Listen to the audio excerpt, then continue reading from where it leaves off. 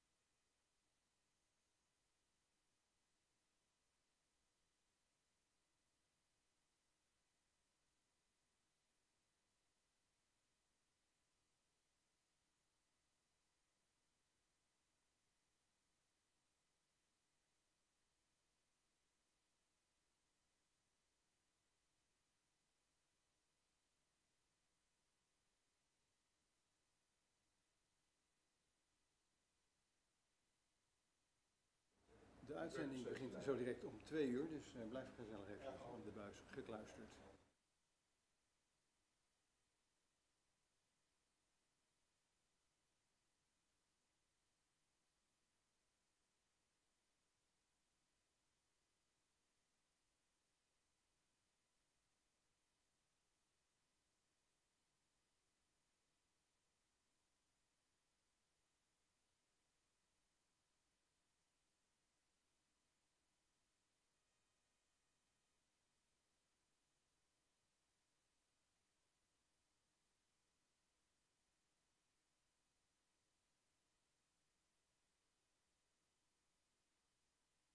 Even kijken uh, of hij uh, het goed doet uh, op deze manier.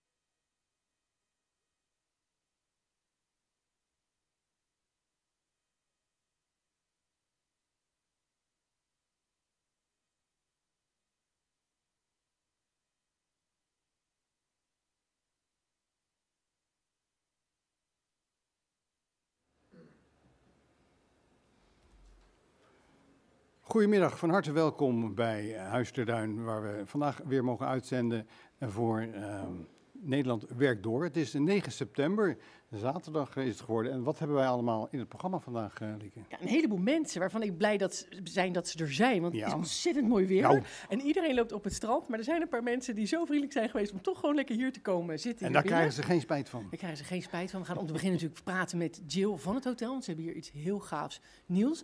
Eh, we gaan met Hilde Krens praten van de Volksbank. Mhm. Over hoe belangrijk het is om kinderen op tijd te leren met geld om te gaan. Ja. En we gaan onder andere leren wat een geldezel is. Geld Eh, blijf kijken, dan, eh, dan hoor je dat. We geen scheldwoord, toch? Nee, is geen scheldwoord, maar is wel iets wat je liever niet bent. Oh. Eh, Ronald Bos gaat ons alle ins en outs over coaching eh, uitleggen en Mhm. hoe hij dat, hoe die dat doet. Dennis van der Voort is voorzitter van Ondernemend Lisse. En in Lisse wordt een heleboel ondernomen. En dat gaan we straks allemaal horen van Dennis. En last but zeker not least hebben wij de voorzitter van de Eerste Kamer... die hier straks aan tafel aanschuift, Jan-Anthony Bruin. Die komt vertellen over Prinsjesdag en misschien ook een beetje vooruitblikken... naar de verkiezingen die er aankomen. Eh, maar vooral natuurlijk praten over die Eerste Kamer. Wat Ja. doet die Eerste Kamer? Hoe gaat dat in zijn werk? En hoe kijkt hij daar dan tegenaan? Leuk. Maar, Ja. zoals gezegd, trappen wij af, zoals gebruikelijk eigenlijk iedere uitzending, eh, met iemand van Huis ter Duin. En dit keer is dat eh, Jill Stokkermans. Jill, welkom. Fijn dat we hier weer mogen zijn. Goed dat jullie er weer zijn. Prachtige zaal met airco. Was ik Met Erco. Heel blij mee vandaag. Heerlijk. Want het is wel ineens ontploft dat weer, hè? Ja, dit, eh, deze week is echt een cadeautje geweest. Als je ziet de afgelopen zomer, dan is dit wel heel lekker, ja. Natuurlijk heel gaaf, maar het is voor jullie een cadeautje. Maar het is ook wel misschien even eh, Schakelen. schakelen, Ja. zal ik maar zeggen. Ja, uiteindelijk wel. Sowieso is begin september gaan we weer over naar onze zakelijke markt. Mhm. Dus dan zijn de vakanties afgelopen. Oh ja. Ehm, dus in principe, dan als je in één keer zulk lekker weer krijgt, dan neemt iedereen toch een dagje vrij. Dus het was lekker druk bij ons. Maar Maar helemaal die leisure kant die weer Ja, eh, die weer die terugkomt. terras vult. Ja, Ja. maar daar zijn we ook hartstikke Maar dankbaar daar voor. zijn jullie soepel in en flexibel in. Ja, Goed. Want jullie hebben hele drukke weken gehad. En onder, onder andere hebben we natuurlijk net gehad de hele F1-circus in Zandvoort. Nou zitten we hier Ja. in Noordwijk en niet in Zandvoort. Maar jullie zijn wel eigenlijk het F1-hotel. Omdat hier natuurlijk dan alles vol zit ook. Ja. Kan je een beetje een tipje geven van... eh, hebben jullie inderdaad dit jaar ook weer aanloop gehad? Zeker, zeker. We hebben weer eh, een van de teams mogen, Oh, mogen leuk. ontvangen. Ja, ja de, de vlag wapperde op het dak. Dus iedereen Aha. kon wel raden ieder- wie er bij ons zat. Ja. Eh, en ik moet eerlijk zeggen, en ook weer andere mooie gasten rondom eh, de Formule 1 eh, die we hebben mogen ontvangen. Mhm. Dus het was een lekker druk. Ja, Heerlijk. Want Ja. er zijn er hele, eh, ja, je kan natuurlijk niet alles bespreken, maar zijn er hele bijzondere eisen die zo'n team stelt dan eh, voor de locatie? Eh, in die zin valt dat wel mee. Ik denk dat gewoon onze bereikbaarheid met het hele platform wat we hebben, dat dat Mhm. natuurlijk ook wel uniek is. Ja. Eh, dus de helikopter is wel een paar keer eh, Ja, per dag tuurlijk, eh, naar Zandvoort vertrokken. Ja. Ik denk voornamelijk onze locatie, dat dat, eh, ja, dat, dat ervoor heeft geko- voor gezorgd heeft dat ze voor ons kozen. Mhm. Ehm, en ik denk uiteindelijk ook alles wat we bieden natuurlijk. En, en- en op zo'n weekend zijn er dan ook veel ehm, ja, reguliere gasten die speciaal voor Zandvoort hier in het hotel komen zitten? Eh, ja, ja, die hebben we ook. Die, echt, eh, die gaan dan lekker met de fiets. Dan zitten ze ietsje dichterbij. Ja. Ja. met de fiets door de duinen. Eh, richting Zandvoort. Het was op zondag wel wat uitdagend Ja. eh, met regen. Maar ook dat werd verzorgd voor ze. Dus uiteindelijk zijn ze toen volgens mij met een busje richting eh is het Zandvoort lopen hier ook gegaan. van Zandvoort of is dat wel een Nou, stukje? Dat is was volgens mij dik vier uur lopen. Goed, ik hoor net dat de Lieke vanmiddag gaat Ja. nameten hoe ver het is. Even wandelen naar Zandvoort. Ja. Ja, goed. Als je, je hebt van die mensen die zijn heel enthousiaste wandelaars. En die Ja. doen dat best Ja, dat is waar. Best wel vlot. Dus, eh, nee. Maar, maar oh, even nog even over dat autoracen. Ik hoorde dat jullie hier in het hotel ook, eh, ook bezig zijn met, eh, met dat soort zaken. Er is een nieuwe, nieuwe feature onder in het hotel. Vertel eventjes. Ja, ja nou, Huis Verduin kent eigenlijk al best wel een lange tijd een warme bad met de autosport. eh, met, de, met de feesten en evenementen die we hier hebben gehad, allemaal verbonden aan de auto. Ehm, en op een gegeven moment kwam er op ons pad ehm, ja, een partner die eh, helemaal in dat, in dat simracen zit. Eh, voornamelijk heel populair was dat onder de jeugd. Maar Ja. eigenlijk merk je dat dat voor jong en oud hartstikke leuk is. Ja. En eh, daar zijn we mee gaan brainstormen. En dat heeft ertoe geleid dat wij eh, sinds kort onze eigen Huisverduin Game Studio hebben. Waar Kijk, de beelden zijn inmiddels hier ingestart en we gaan Ja. nu naar beneden toe. Ja. Oh, dit Daar is, oh, het. inderdaad hier. Ja, ja, Kijk, kelder. Ik heb even de muziek uitgezet. Oh, kelder maar- vind ik een beetje een woord alsof het een Nee, soort... het is ja. gewoon een ja, nee, precies. Dat klinkt mooi. veel Ja, beter. ja, je zegt het hier veel mooier. Ja. Oké, handen ga binnen.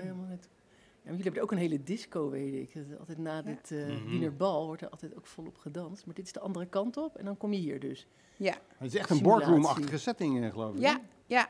Ehm, in die zin net iets anders dan men gewend is van onze klassieke boardroom. Maar in die Mhm. zin past dat natuurlijk ook wel een beetje eh, bij deze tijd. Ja. Ehm, mooi is, er zijn dus zes eh, stoelen waar men in kan racen. Mhm. Ehm, en dat kan zelfs helemaal gebrand worden naar, eh naar bedrijf toe. Oh, of ja, als ja. mensen, want het is wel echt iets voor de zakelijke markt.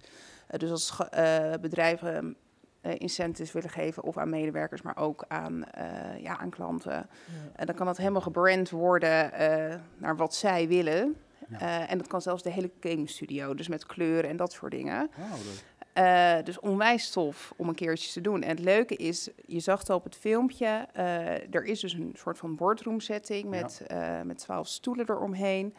En ehm, daar kan zelfs ook een podcast. Het heeft alle technieken om echt wel een hele interactieve praten, ja. eh, meeting Ja. ehm, Mhm. ook Ja, te dat laten plaatsvinden. leuk, ja. Heb jij Ja. zelf wel eens gereden Ja. in zo'n ding? Oh. Ja, Ja, ja, vond je het leuk? Ik vond het heel leuk, maar het is niet... eh, ik moet nog even oefenen, laat ik het zo ja. zeggen. ik, vond, ik heb nipt verloren van Richard, maar dat Oh. was omdat ik ging drie keer over de kop en ik had gewoon haast en iets te veel haast. Maar het is wel, ik vond het heel erg meevallen hoe leuk het is en hoe echt het, eh, hoe Nou, echt het ook lijkt. Een beetje mijn oor- vooroordeel was een beetje iets voor mannen dat Ja. racen. eh, maar je wordt er echt een partijtje eh fanatiek Fanatiek, ja. van. Ja, ook als je tegen je collega's race, Ja. dan... eh, ja, ik had er nog niet zo heel veel goed gevoel voor. Maar je merkt het wel. Het is echt wel een hele leuke... Je moet wel uitkijken, want je gaat over de kop en zo, dan kun je gewoon naar achter en dan leef je weer. Dus je moet wel uitkijken als je naar je echte auto stapt, dat je je realiseert dat dat net anders Ja, is. ja dat, het dat raden lang mensen wel aan. Je moet het niet te lang achter elkaar doen, denk ik. Hey, zag jij trouwens, Lieke, eh, we, hadden eh, een een paar maanden geleden een lezing gedaan voor EPOS, de mensen van de audio. En die zitten hier ook eh, bij dit eh, project, eh, zag ik Ja. onderaan staan. Ja. Dat is echt helemaal high-end eh, audio. Nee, dus, nou, we, eh, gaan, we ja. gaan er een keertje in racen. Gewoon. We gaan Ja. de volgende keer uitzenden. Ja, dan Ja, gaan ja, uit. Leuk. Helemaal goed. En dan nog eventjes naar de, naar de toekomst eh, kijken. Want het is nu vandaag even heel druk hè, natuurlijk. Het blijft nog een week mooi weer, geloof ik. Dus dat zal nog wel even aanpoten zijn. Maar dan gaan we richting 21 oktober, zeg ik uit mijn hoofd. Ja. Ja, 14 oktober is de volgende uitzending. Bedoel je dat? Nee, ik bedoel niet de volgende uitzending. Ik bedoel 21 oktober hier het concert. Nee, sorry ja. jongens. Ja, Voor die ja, tijd hebben we ja, alweer ja. uitzending. Oké, even Ja, dan 21 gaan we volgende oktober. keer even hebben jullie hier een concert? Pitch. Eh, de Sens die, eh, is weer terug. Eh, deze keer eh, een dinershow in de club. Dus je noemde het al net. de club die... veel gasten kennen het niet, want het is vaak de afterparty locatie van mooie evenementen. Mhm. Maar eh, deze keer gaan we er een mooie ja, crooners concert. Het is heel in die zin interactief, want Theodor, de zanger, die loopt lekker door de zaal. Het is eigenlijk heel intiem. Ehm, ja, en het wordt eigenlijk gewoon eh, genieten met de, met de crooners. Ja. En dan zoals ik net met jou in het voorgesprek, dat wil ik dan nog even aan de kijkers meegeven die nu nog lekker in bikini in de zon zitten. Jullie zijn al bezig met nog verder, hè? Ja, ja, ja. En we krijgen de aanvragen ook al binnen. Hoeveel dagen is het nog? Ja. ja, de kerst, eh, die, eh, dat staat bij ons alweer eh op de planning. En daar kijken we ook wel heel erg naar uit. Mhm. In die zin zijn de gasten die nu reserveren wel verstandig. want het is gewoon voor onze populaire, ja, populaire dagen in het hotel. Dus we raden iedereen aan om... Om op tijd te Tijdig. reserveren. ja, ja. en er komt ook, eh, dat heb ik zojuist bevestigd gekregen, het eh, familie kerstdiner. Eh, daar mogen we Sherma Raus gaan ontvangen. Oh, Ja. Is leuk. Ja. ben echt al, in- voor mijn beleving was ik gisteren hier nog op het, uh, op het ontsteken van die kerstboom. Ja, het- Waar ja. daar heel Ja. mooi ceremonieel hier gebeurt. Maar eh, Ja. het gaat Ja. snel. Ja, wel leuk. Nou, we kijken er naar uit. Maar wat Richard al zei, 14, eh, de 14e Oktober. zijn we, 14 oktober zijn we al, eh, alweer terug hier. Dus dan eh, gaan we er misschien wat meer. dieper eh, op in. helemaal goed. Oké, nou ontzettend bedankt Jo Ja, voor deze zeker. uitleg. En eh, nou ja, we gaan, eh, we gaan een keertje racen Yes. tegen elkaar. Ja, dat Dan doen ga ik je verslaan. hey, bedankt hè. Dank je. Lieke, voordat Ja. wij doorgaan naar Ja. de volgende gast, heb ik hier nog een, een eh, beetje materiaal ontdekt. Want Ja, jij was ineens weg. eh, wanneer was dat nou? Een, een aantal weken geleden. Ja. En toen dacht ik, joh, waar is Lieke nou gebleven? En Nou, toen bleek jij in Kosovo te zitten. Kijk, Ja. dit heb ik terug kunnen Oh. vinden van jouw bezoek daar. Eh, dat was Ja. DocuTech. Ja, het was een internationaal festival over artificial intelligence, kunstmatige intelligentie, over de wet en regelgeving, wat Mhm. natuurlijk eigenlijk mondiaal geregeld moet worden, of in Ja. ieder geval op Europees niveau over eh, ja, data. Je hebt natuurlijk de generative AI op dit moment, hè, generatieve Ja. kunstmatige Ja. intelligentie. Dus niet alleen intelligent is, maar ook intelligente dingen zelf weer kan produceren. Voor zover Mhm. intelligent, maar goed. Eh, en dat was verschrikkelijk. Het was met een heel groot internationaal gezelschap. eh, hebben we daar eh, Mhm. ja, heel lang gediscussieerd en gedaan. Ja. En mocht ik, zoals je ziet, ook even... Juist, want ik zie hier... Eh, eh, eh, nou, ik kan het niet eens uitspreken in het eh Kosovaars. Maar ik weet zeker dat hier. AI... eh, sorry, ja, ik zeg het verkeerd. Eh, AI eh, staat. En- Ja. Maar daar heb je echt ook een AI-deskundige. interview over gegeven? daar? Ja, was op de televisie, werd dus inderdaad in Kosovo, in Albanië eh, en nog een paar landen eromheen, werd het live uitgezonden. Mhm. En die presentator die sprak een klein beetje Engels, maar die vond het toch prettiger om het gewoon in het Albanese te doen. Tuurlijk. nou is mijn Albanese heel slecht. Dus ik kreeg een oortje in en dan werd het vertaald. Nou is dat bij een live interview al heel eh, Mhm. lastig, want dan, eh, ja, die, die tijd duurt, iemand stelt een vraag, dan ben je even stil en dat is ongemakkelijk. Ik wil altijd al gelijk beginnen met praten. Eh, maar nog lastiger werd het toen halverwege dat oortje Nou, uit. Eh, wat mevrouw nou het toeval? Kijk, mijn ik heb hier dit. Moet je kijken. Die, eh, Mirë se erdhe zonja Lieke Lamp, që është drejtoresh e Women in Tech in Holland. Mirë se erdhe, welcome in Kosova. Faleminderit, happy to be here. Po nisim me, me ju, uh, zonja Lamp, si ju duket Kosova, si i pat gratë në, në teknologji, kishit edhe një event në DocuFest, qëfar frymëzimi ose qëfar, qëfar mund të nga thani për Kosovën dhe, dhe teknologjinë në, në vendin tonë? Yeah, thank you so much. I was invited në Ja, en toen kon ik je dus niet meer verstaan, omdat ze weer dwars Gewoon de stem doorheen gingen. Ja. gezet, ja. Ja, dat. Valenderit, dat is dankjewel. Dat zover was ik wel. Ik heb een paar keer er tussendoor gegooid. Maar inderdaad, ja, dat oortje viel uit. Maar goed, weet je, als je het over AI hebt, dan zijn er een heleboel Engelse termen. Dus het Ja, ging, op een gegeven moment hoorde ik hem een vraag stellen van... ja, hoe zit het privacy, blablabla, en de security? Nou, dan weet je al een beetje waar de vraag heen gaat. Ja. Dus toen heb ik gewoon maar antwoord gegeven. Maar het was, het was een hele mooie, bijzondere ervaring. Mhm. En ook wel heel leuk om te zien dat ze daar in Kosovo al zo ver zijn met die, met die, met die ontwikkelingen. Ze willen heel graag voorop lopen. ja, dus, eh, dat krijg je dan natuurlijk. ja, eh, en, hebben echt, eh, en, en wat ik heb geleerd is, eh, ik werd rondgeleid door een, eh, door een dame, die was daar eh, minister van Buitenlandse Zaken geweest. En haar voornaam was eh, Teuta. Nou, ik zei dus steeds Teuta en na ongeveer drie dagen kwam ik erachter dat je dus Tehuta zegt. Je Oké, deelt die op. niet, dus eh, ik heette ook niet Lieke, zoals je net hoorde, maar Lieke. Lieke. Nou ja, als je maar reageert. ja, als je maar reageert. Nee, ja. en ik, ik zag ook, maar dat is voor een andere keer, dat je ook bij een eh, wijnomgeving bent geweest. Want er zijn allemaal mooie Ja. flessen langs Nou, ik heb dus nu thuis een heel aantal eh, flessen wijn uit Kosovo. Ja, Ja. en die waren gisteren met een, eh, uit eten met een wijnkenner. En zelfs die had dat nog nooit geproefd. Ik zei, nou, je, je mist wat, want het was echt een geweldig landgoed met een enorme range met nou ja, allerlei soorten wijnen. Mhm. Dus ja, er wordt aan alle kanten gewerkt om, eh, om mee te draaien. En tot mijn grote verbazing ook, moet ik zeggen, in Prizren en eh, ook in Pristina waren een heleboel Nederlandse toeristen al. Oh. Dat had ik niet zo, eh, niet zo meegekregen dat het al zo populair was. Nou dacht, ja, ik denk ben- dat het qua vakantievieren misschien ook iets voordeliger is. eh, eh, ja, het is, het is, bijvoorbeeld het is- Italië en Ja. wat echt de regio. Ja, dus heel, ik heb zelfs gesproken met een, iemand van de, de tandheelkundige toestand. Want ik moest een beetje hier in Nederland en dat is in Nederland 500 euro. Toen zei ze, nou, ik kan het voor 50 euro doen en dan heb je je Ja, vliegticket garantie tot erbij. de deur, ja. Nou ja, goed, voor een beetje voor je tanden denk je, nou ja, ach, we kunnen het proberen. ja. Maar, maar, nee, maar dat, die prijzen, dat, dat is een enorm verschil inderdaad. Dus nee, leuk, leuk land, leuk Ja. bijzondere ervaring ook weer. Nou, laten we eens eh, met onze volgende gast eh, Ja, doorschakelen. die zit al, eh, zit al klaar. Welkom. Ja, sorry, we wilden even over Kosovo eh, Leuk verhaal. Leuk maar verhaal. tegenover mij zit nu Hilde Krens, manager financiële educatie bij de Volksbank. Welkom, fijn, eh, fijn dat je er bent. Kan je een klein beetje uitleggen aan de kijkers wie je bent en wat je bij de Volksbank doet? Ja, nou ja, mijn naam is eh, Hilde Krens. Ik eh, ben al 30 jaar eh, samen met Jeroen. Een hele trotse moeder van twee volwassen zoons van eh, 19 en bijna 22. En daarnaast ben ik manager financiële educatie bij de Volksbank. En de Volksbank is de moedermaatschappij van ASN Bank, Regiobank, SNS Bank en BLG Wonen. En dan, en dan ben je manager financiële educatie. Dan moet je even mij uitleggen. Ik kan me er wel iets bij voorstellen, maar wat houdt het precies in, financiële Ja, educatie? Nou, financiële educatie is eigenlijk mensen beter leren omgaan met geld. En de Volksbank wil graag de financiële weerbaarheid van eh, mensen eh, verbeteren. Eh, voor deze generatie en ook voor de volgende generatie natuurlijk. En ik richt me vooral op financiële educatie voor kinderen. Helaas zit financiële educatie nog niet in het schoolcurriculum. En eh, daarom hebben wij eh, tien jaar geleden het lessenprogramma Eurowijs ontwikkeld. En eh, dat is lesmateriaal om kinderen te leren omgaan met geld. En dat wordt gratis verstrekt. Ja, want jullie hebben 1,5 miljoen kinderen geloof ik al Ja. bereikt. Dit jaar hebben jullie zelfs een top van, van 300.000 kinderen in één Bijna, ja. jaar die je Ja. bereikt. En dat, dat, moet, dat is allemaal fysiek materiaal, dat moet verzonden worden door de Volksbank, eh, et cetera. Dat, dat kan allemaal. Dat Ja, ja, ik ben er ook echt heel trots op dat, eh, dat de Volksbank eh, dit doet. We bereiken inmiddels al meer dan, ja, eigenlijk meer dan de helft van alle basisscholen in Nederland. Die werken al met ons lesmateriaal. En eh, ik ben ook eigenlijk heel blij dat de Volksbank dit faciliteert en dit vanuit een lange termijnvisie eh, eh, dus bewerkstelligt. Ehm, en ja, dat is eigenlijk de reden waarom we het doen. En op deze manier laten we gewoon zien dat de Volksbank midden in de maatschappij staat.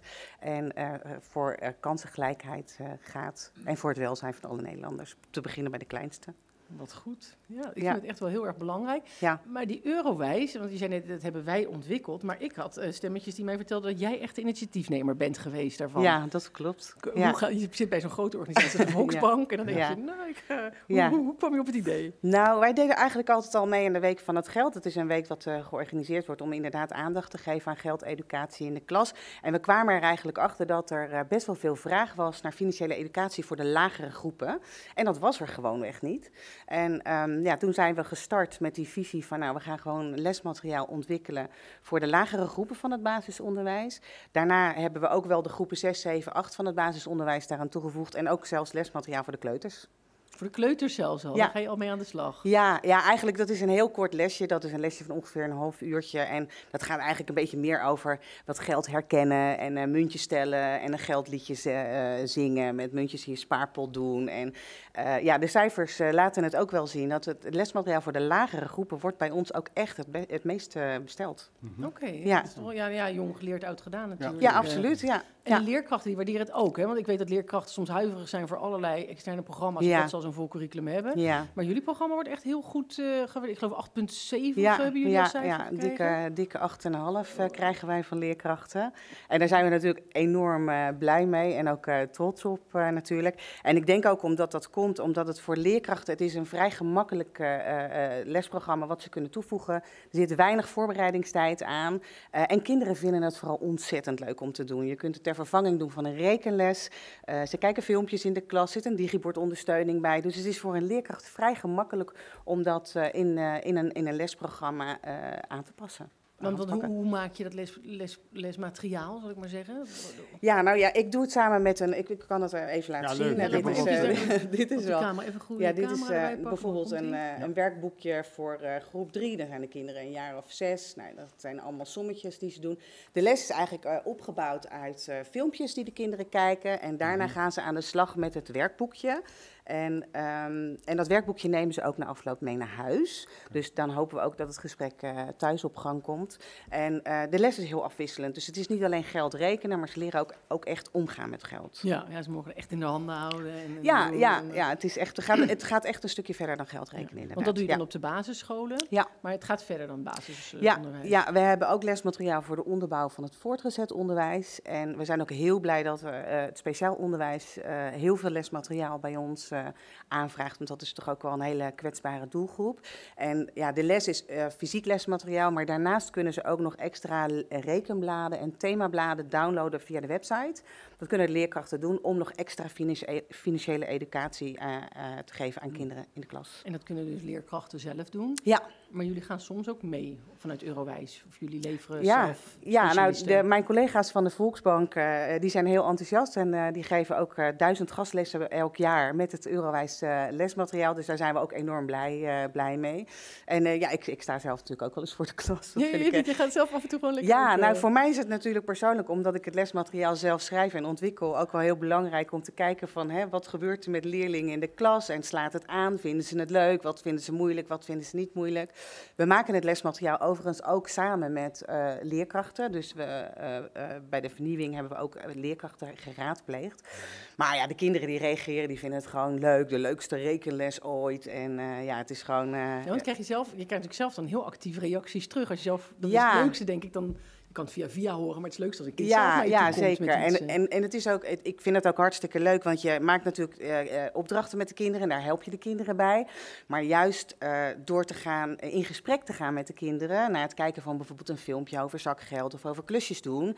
Kijk, dan ga je echt de verdieping in en dan ga je echt met kinderen praten over het omgaan met geld. Hoe kijk je tegen geld aan? Als je wel eens klusjes doet, hè, vraag je daar geld voor of doe je het voor niks? Krijg je ook wel eens opmerkingen van kinderen dat je, dat je hoort hoe het er thuis toe gaat? Die denken, oeh, Ja. ik weet niet of dit, dit voor de Ja. klas Ja, misschien ja. Dat is Ja, nou weet je, het is ook altijd wel. Kijk, en dat is ook heel, vrij lastig. Want je kunt natuurlijk wel in een klas vragen wie krijgt er allemaal zakgeld. Maar je kan natuurlijk nooit in de portemonnee van mensen kijken. En dat, is, dat is, al- zijn altijd vragen die we, die we niet stellen. Maar ja, er zijn wel kinderen die uit zichzelf natuurlijk. Die, ja, ze willen heel graag verhalen vertellen over wat er gebeurd is. En dat Ja, ze dat valse WhatsApp-berichtjes hebben gekregen en zo. Ja, je komt wel wat te weten. Het is Ja. leuk. hè? Ik denk dat het een hele leuke beroep is als leerkracht. Ja, ja, want je komt heel veel te contact. weten. Ja. Ja, Ja, je kan echt iets zinnigs overbrengen. absoluut. Maar is natuurlijk de wereld in beweging, er verandert van alles. Ja. Dus jullie moeten het steeds actualiseren, neem Ja. ik aan. Brengen jullie veel veranderingen of is dit iets wat al tien jaar... Nou, nee, nee, het is niet al tien jaar hetzelfde. Maar we, eh, we hebben het lesmateriaal toevallig afgelopen jaar eh, compleet eh, vernieuwd. Dat hebben we ook in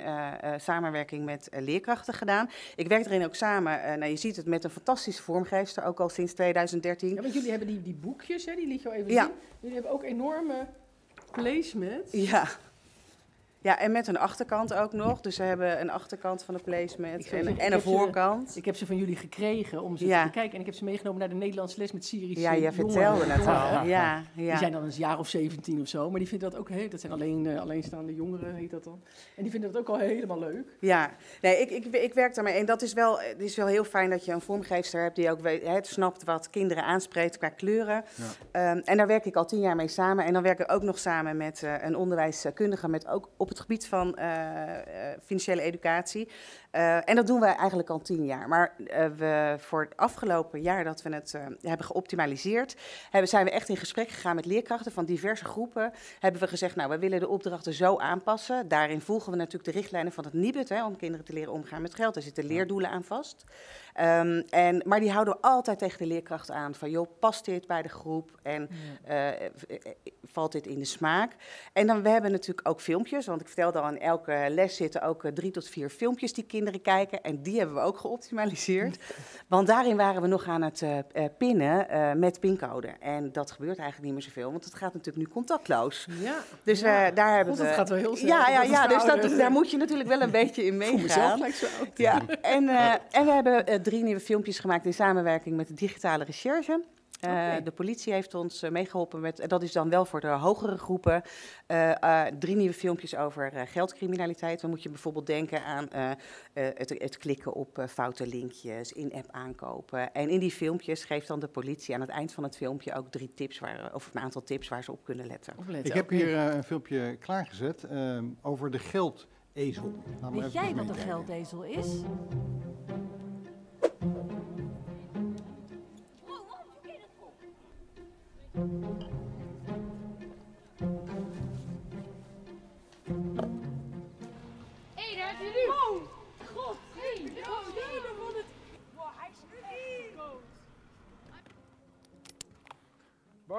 Me even helpen? Ja, is goed. Hi. Hey, hey, ik wil even om een gunst vragen. Mijn eh, bankapp is gecrashed en ik eh, krijg geld van de Belastingdienst. Maar ik moet wel snel reageren, want anders dan krijg ik het niet. Eh, dus kan ik het misschien naar jou laten storten en dan pin ik het met jouw pasje even? Ehm, ja, dat is goed, maar ik heb wel vanmiddag mijn pasje nodig. Oh, maar dat komt wel goed. Dan neem ik het zelf mee en breng ik hem terug. Dan krijg je ook voor mij 100 euro, maar moet wel even je pincode hebben. Ehm, ja, het is... Oké, nou, krijg je die van mij? Dan kom Ja. ik hem zo terugbrengen. Oké, bedankt. Wat je hier zag is een voorbeeld van een geldezel. De scooterrijder vraagt aan Barbara of hij haar bankrekening mag gebruiken. Barbara wilde hem best helpen en gaf haar bankrekening en pinpas met pincode. Wat Barbara niet weet is dat deze jongen ingezet wordt door een criminele organisatie om bankrekeningen en pinpassen te scoren om crimineel geld door te sluizen. Dit is een voorbeeld hoe men te werk gaat op scholen, maar je kunt hiervoor ook benaderd worden via WhatsApp en social media. Waarom moet je hier nooit aan meedoen? Op deze manier ben jij schuldig, omdat je criminelen helpt zonder dat je het doorhebt. De kans is groter dat jij wordt gepakt in plaats van de boef. En als je wordt gepakt, krijg je een strafblad en moet je het geld terugbetalen, terwijl jij gewoon iemand wil helpen. Als je een strafblad hebt, dan kan het zijn dat je later geen baan meer kan krijgen. Het kan zijn dat je geen bankrekening meer kan openen of bijvoorbeeld een telefoonabonnement niet meer kan afsluiten.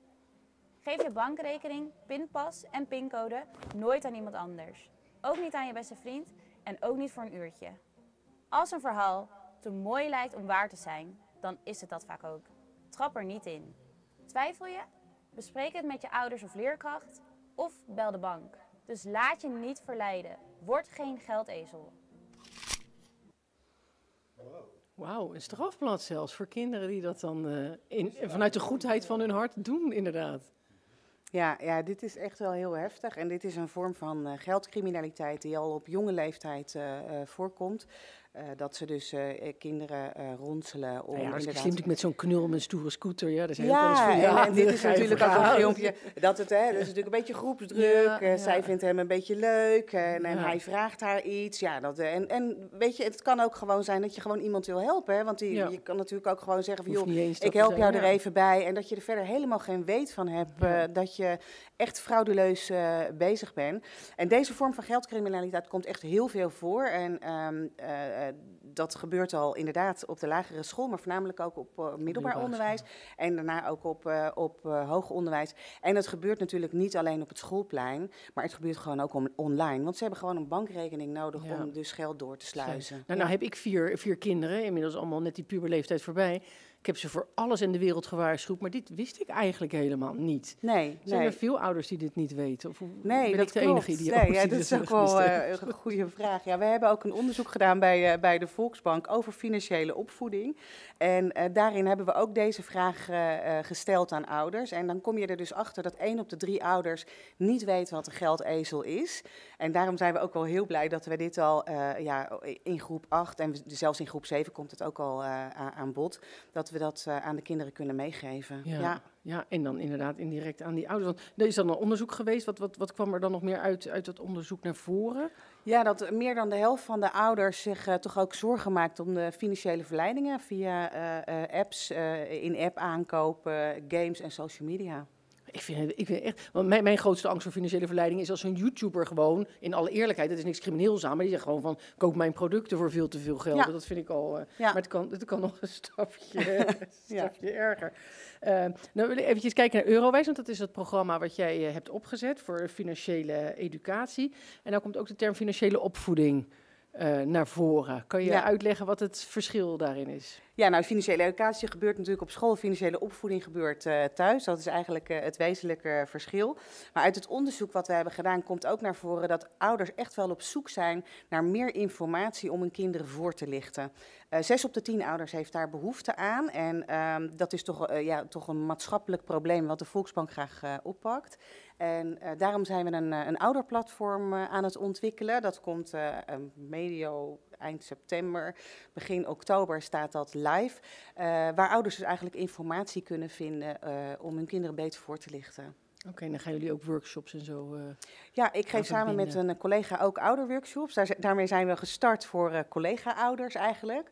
Ehm, eh, over financiële opvoeding. En eh, ja, dat sloeg zo aan dat we dat eh, gaan doorzetten via, de, via dat nieuwe ouderportal wat we gaan maken. Ja. Want dan zagen we net bij die criminaliteit natuurlijk een heel duidelijke eh, reden om met je kinderen in gesprek te gaan. Maar er zijn ook wat, wat zachtere redenen. Waar, worstelen ouders vooral mee als ze naar die financiën kijken? Nou ja, weet je, dat zijn vooral vragen van eh, vanaf welke leeftijd begin je met zakgeld? Eh, en hoeveel zakgeld geef je dan?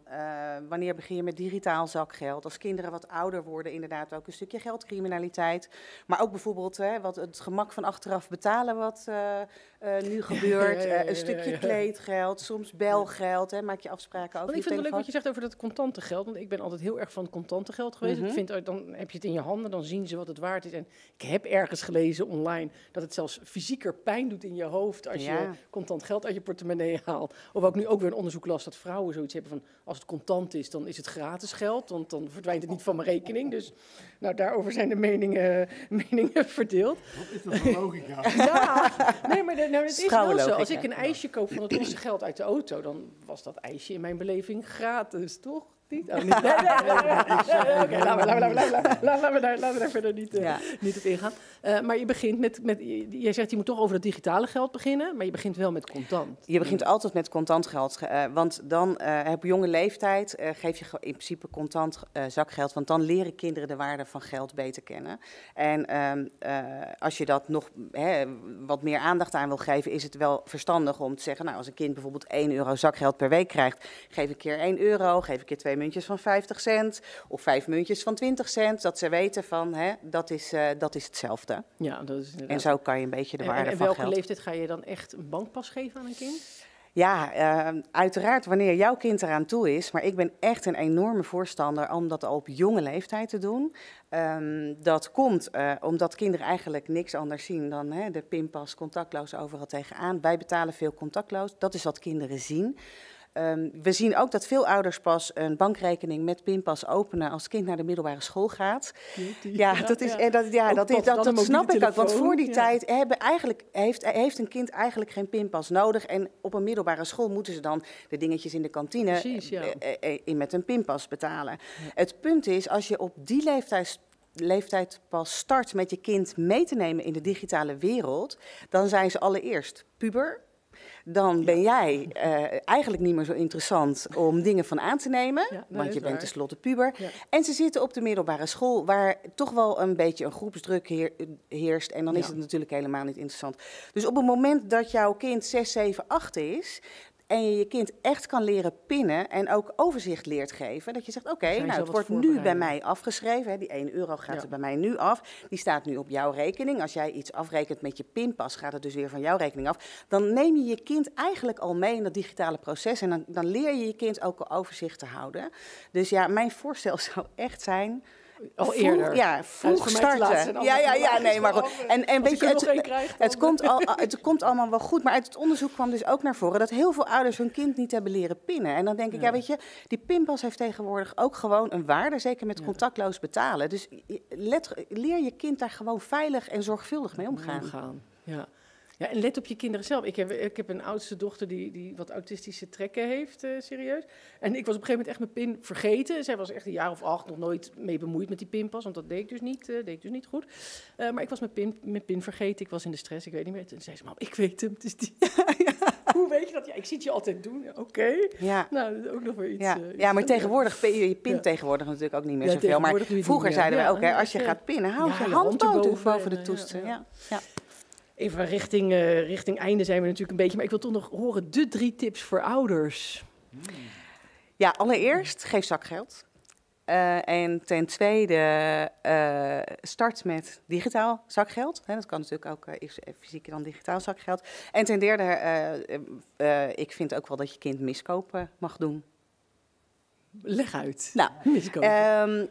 Zakgeld is leergeld. Dat is, dat is natuurlijk belangrijk. En dan het stukje digitale zakgeld. Hè. Als je die overstap wil maken, geef de helft eh, eh, cash en de helft digitaal, zodat ze dat gaan leren. Maar leer ze ook dat ze miskopen mogen doen. Eh, want wat in onze ogen natuurlijk prularia is, of heel snel stuk gaat, dat, daar moeten ze ook van leren. Dus op het moment dat je ze daar allemaal voor gaat behoeden, dan leren ze dat niet. Dus laat ze maar, het is net als met fietsen, vallen en opstaan. Laat ze maar een keer vallen, ze Ja. staan op en ze gaan door. En dat is met dit precies hetzelfde. Laat ze dat maar kopen, dan merken ze vanzelf dat Ja. het eigenlijk niet van waarde is. En dan denken ze de volgende keer over na.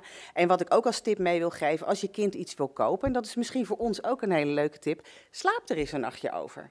Denk eens even na van, joh, ga er eens een nachtje over slapen. Wil je het nou- sowieso bij alles wat ik koop. Nee, maar wil je het de volgende dag nog, dan weet je, koop het dan. Dat is prima. En dat is voor je kind ook prima. Maar meestal als ze dan een nachtje geslapen hebben, zeggen nou, het is toch zoveel geld. En, nou Ja, dus dan zien ze er vanaf, of niet. Maar, hè, Ja. maar laat ze het dan ook wel aanschaffen als ze het echt willen. Goed. Nou, ik, vind- ik- ik neem ze mee, de tips. Ik vind ze helemaal, eh, helemaal goed. Is, is er een plek waar de kinderen zelf informatie kunnen vinden Ja. over al deze wijsheden? Ja, want daar doen we het tenslotte voor. We doen het allemaal voor de kinderen. Ehm, we hebben ook al tien jaar een website eurowijskids.nl. Daar kunnen kinderen alle antwoorden vinden op hun eh, vragen. De website is eh, eh, net vernieuwd.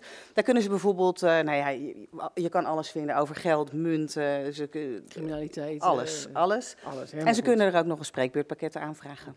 Oké, oh, dat is helemaal leuk. Ja, we hebben gratis spreekbeurtpakketten die we verzenden. Dat is Ja, nog leuker dan ChatGPT. Kan gewoon bij jullie echt met materiaal ja, ja. werken. Ja, Super. Ja.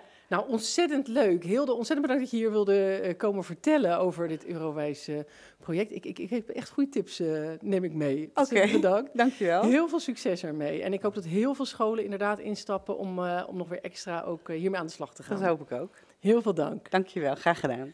Hilde Krensen was dat van de Volksbank Eurowijs. We hebben ook een hoop geleerd uh, in tussen. Ja, als ik het de volgende dag nog wil, mag ik het kopen, Ries. Ja, blijkbaar, ja. Bedankt, Hilde. Ja. vind ik een hele goede, goede regel. Dus Ja. ik slaap er een nachtje over en als ik de volgende ochtend denk, ja, ik wil het nog steeds, dan mag ik het gewoon, eh, mag ik het gewoon kopen. Nee, maar voor kinderen inderdaad, ik, ik ben daar, ik, wij waren daar heel laat mee. Hè? Mobiele telefoons niet op de lagere school Nee. en, en pinpasjes Ja, eigenlijk ook niet. bijna behouden. Nou scheelt het ook wel per kind. Want het vierde kind waren we iets makkelijker mee Ja. dan weer met het oudste. Tot ergernis van de oudere kinderen. Ja, ja, dan krijg je dat probleem weer. Nou, we zijn eh, toe aan de volgende gast. En dat is een hele bijzondere gast waarmee we heel blij zijn dat hij hier eh, aanwezig is. Hij heeft ook allemaal mooie foto's meegenomen waar we over gaan praten. Maar aan tafel aangeschoven is Jan-Anthony Bruin, de voorzitter van de Eerste Kamer. Meneer Bruin, mag ik Jan-Anthony zeggen? Heel graag als ik Ja, Lieke ja, mag zeggen. ja, oh nee, het is mag Liek ook. heb ik net Ja, geleerd. Lieke, heel goed. Ja, nou, dat klinkt toch gelijk heel, heel al wat is. Helemaal goed. Nou, ontzettend bedankt eh, dat je hier wilde zijn. Heel erg fijn. Ehm, we gaan het hebben over Prinsjesdag, over de Eerste Kamer. Weet er zelf het nodige van, maar ik dacht het is misschien toch wel leuk voor de kijker om nog even heel kort te vertellen wat een senator in de Eerste Kamer en dan misschien ook een voorzitter doet of wat, wat de functie van de Eerste Kamer is. Ja, nou als je hier het hotel uitloopt, dan krijg je meteen met wetten te maken. Bijvoorbeeld bij, voor een rood stoplicht moet je stoppen. Dat staat in de verkeerswet. En zo hebben we duizenden wetten waar we ons aan moeten houden. En die wetten moeten constant worden geüpdate natuurlijk, want de wereld verandert snel. En zo eh, is het dat een gemiddelde regering in Nederland, die eh, stelt ongeveer 250 keer per jaar zo'n wetswijziging voor. En daar moet het parlement heel kritisch naar kijken, want die controleert de regering. Dus iedere wetswijziging, 250 keer per jaar, die wordt voorgelegd eerst aan de Raad van State, die geeft er een advies over. Gaat dan naar de Tweede Kamer, daar kunnen ze het nog zodanig veranderen dat ze ook een meerderheid hebben. En als het dan wordt aangenomen, dan gaat het naar de Eerste Kamer. En daar zitten mensen die vier dagen per week in de samenleving werken, in een schoollokaal of bij de brandweer, of zoals ik in de universiteit en in een ziekenhuis. En vanuit die plek in de samenleving moeten wij dan nog één keer kijken, als we dit nou inderdaad aannemen, hoe valt dat dan in de samenleving? Gaat dat wel werken? Is het uitvoerbaar? Is het handhaafbaar? Dat is onze kerntaak, dus de kwaliteit en uitvoerbaarheid van wetgeving. Nou, als we daar problemen zien, dan gaan we daar natuurlijk op in met de regering. We kunnen eventueel een wetswijziging zelfs tegenhouden. En als wij hem aannemen, dan is de wet veranderd. Ja, je bent dus geen fulltime politicus. Je hebt een, een, een, de, de- eh, alle Eerste Kamerleden hebben een baan buiten die Eerste Kamer, maar komen bij elkaar om naar die wetten te kijken. En dat zijn er, even rekenend, vijf per week, zodat dan Ja, wetswijzigingen... vijf wetswijzigingen per week. Er komen eigenlijk bijna nooit nieuwe wetten bij. We noemen het wel wetsvoorstellen, maar het zijn eigenlijk wetswijzigingsvoorstellen. Dat klopt. Oké, af en toe komt er wel een nieuwe, maar dat is de. Heel zelden. Ja, is dat echt zo? eh, Ja, dit zijn allemaal wetswijzigingen. Oké. We hebben er al zoveel. echt, eh, ja. ja, dat is natuurlijk ook wel. Daar ben ik, ben ik wel weer mee, eh, mee eens, inderdaad. Ik heb even een, foto gevonden eh, uit jouw verleden. Eh, en volgens mij was dat op het moment dat bekend werd, denk ik in de Eerste Kamer, eh, dat je voorzitter zou worden. Dit is 19, eh, eh, t- sorry, 2019. Klopt, toen was ik net verkozen. En eh, de uitslag was net bekendgemaakt. En mijn fractiegenoten waren kennelijk blij dat ik de fractie uit zou gaan. En voorzitter zou worden. Want eh, je ziet daar eh, Erik van den Burg daarachter nog, die later staatssecretaris werd. En eh, ja, het was een hartstikke mooi moment. Want voorzitter, inderdaad. Wat, wat doet een voorzitter extra dan een gewone senator? Zo? De voorzitter heeft eigenlijk als taak om te zorgen dat de leden hun werk goed kunnen doen. Dat is mijn taak. Dus je kan een beetje vergelijken met een scheidsrechter op een voetbalveld hè, tijdens zo'n debat. Ik moet de regels handhaven. Nou, als iemand buitenspel staat, moet ik hem aanspreken, et cetera. Dus je bent echt de procesbegeleider. En dan zijn jullie naar een nieuwe ruimte verhuisd, eigenlijk vanwege de verbouwing helemaal. Hè?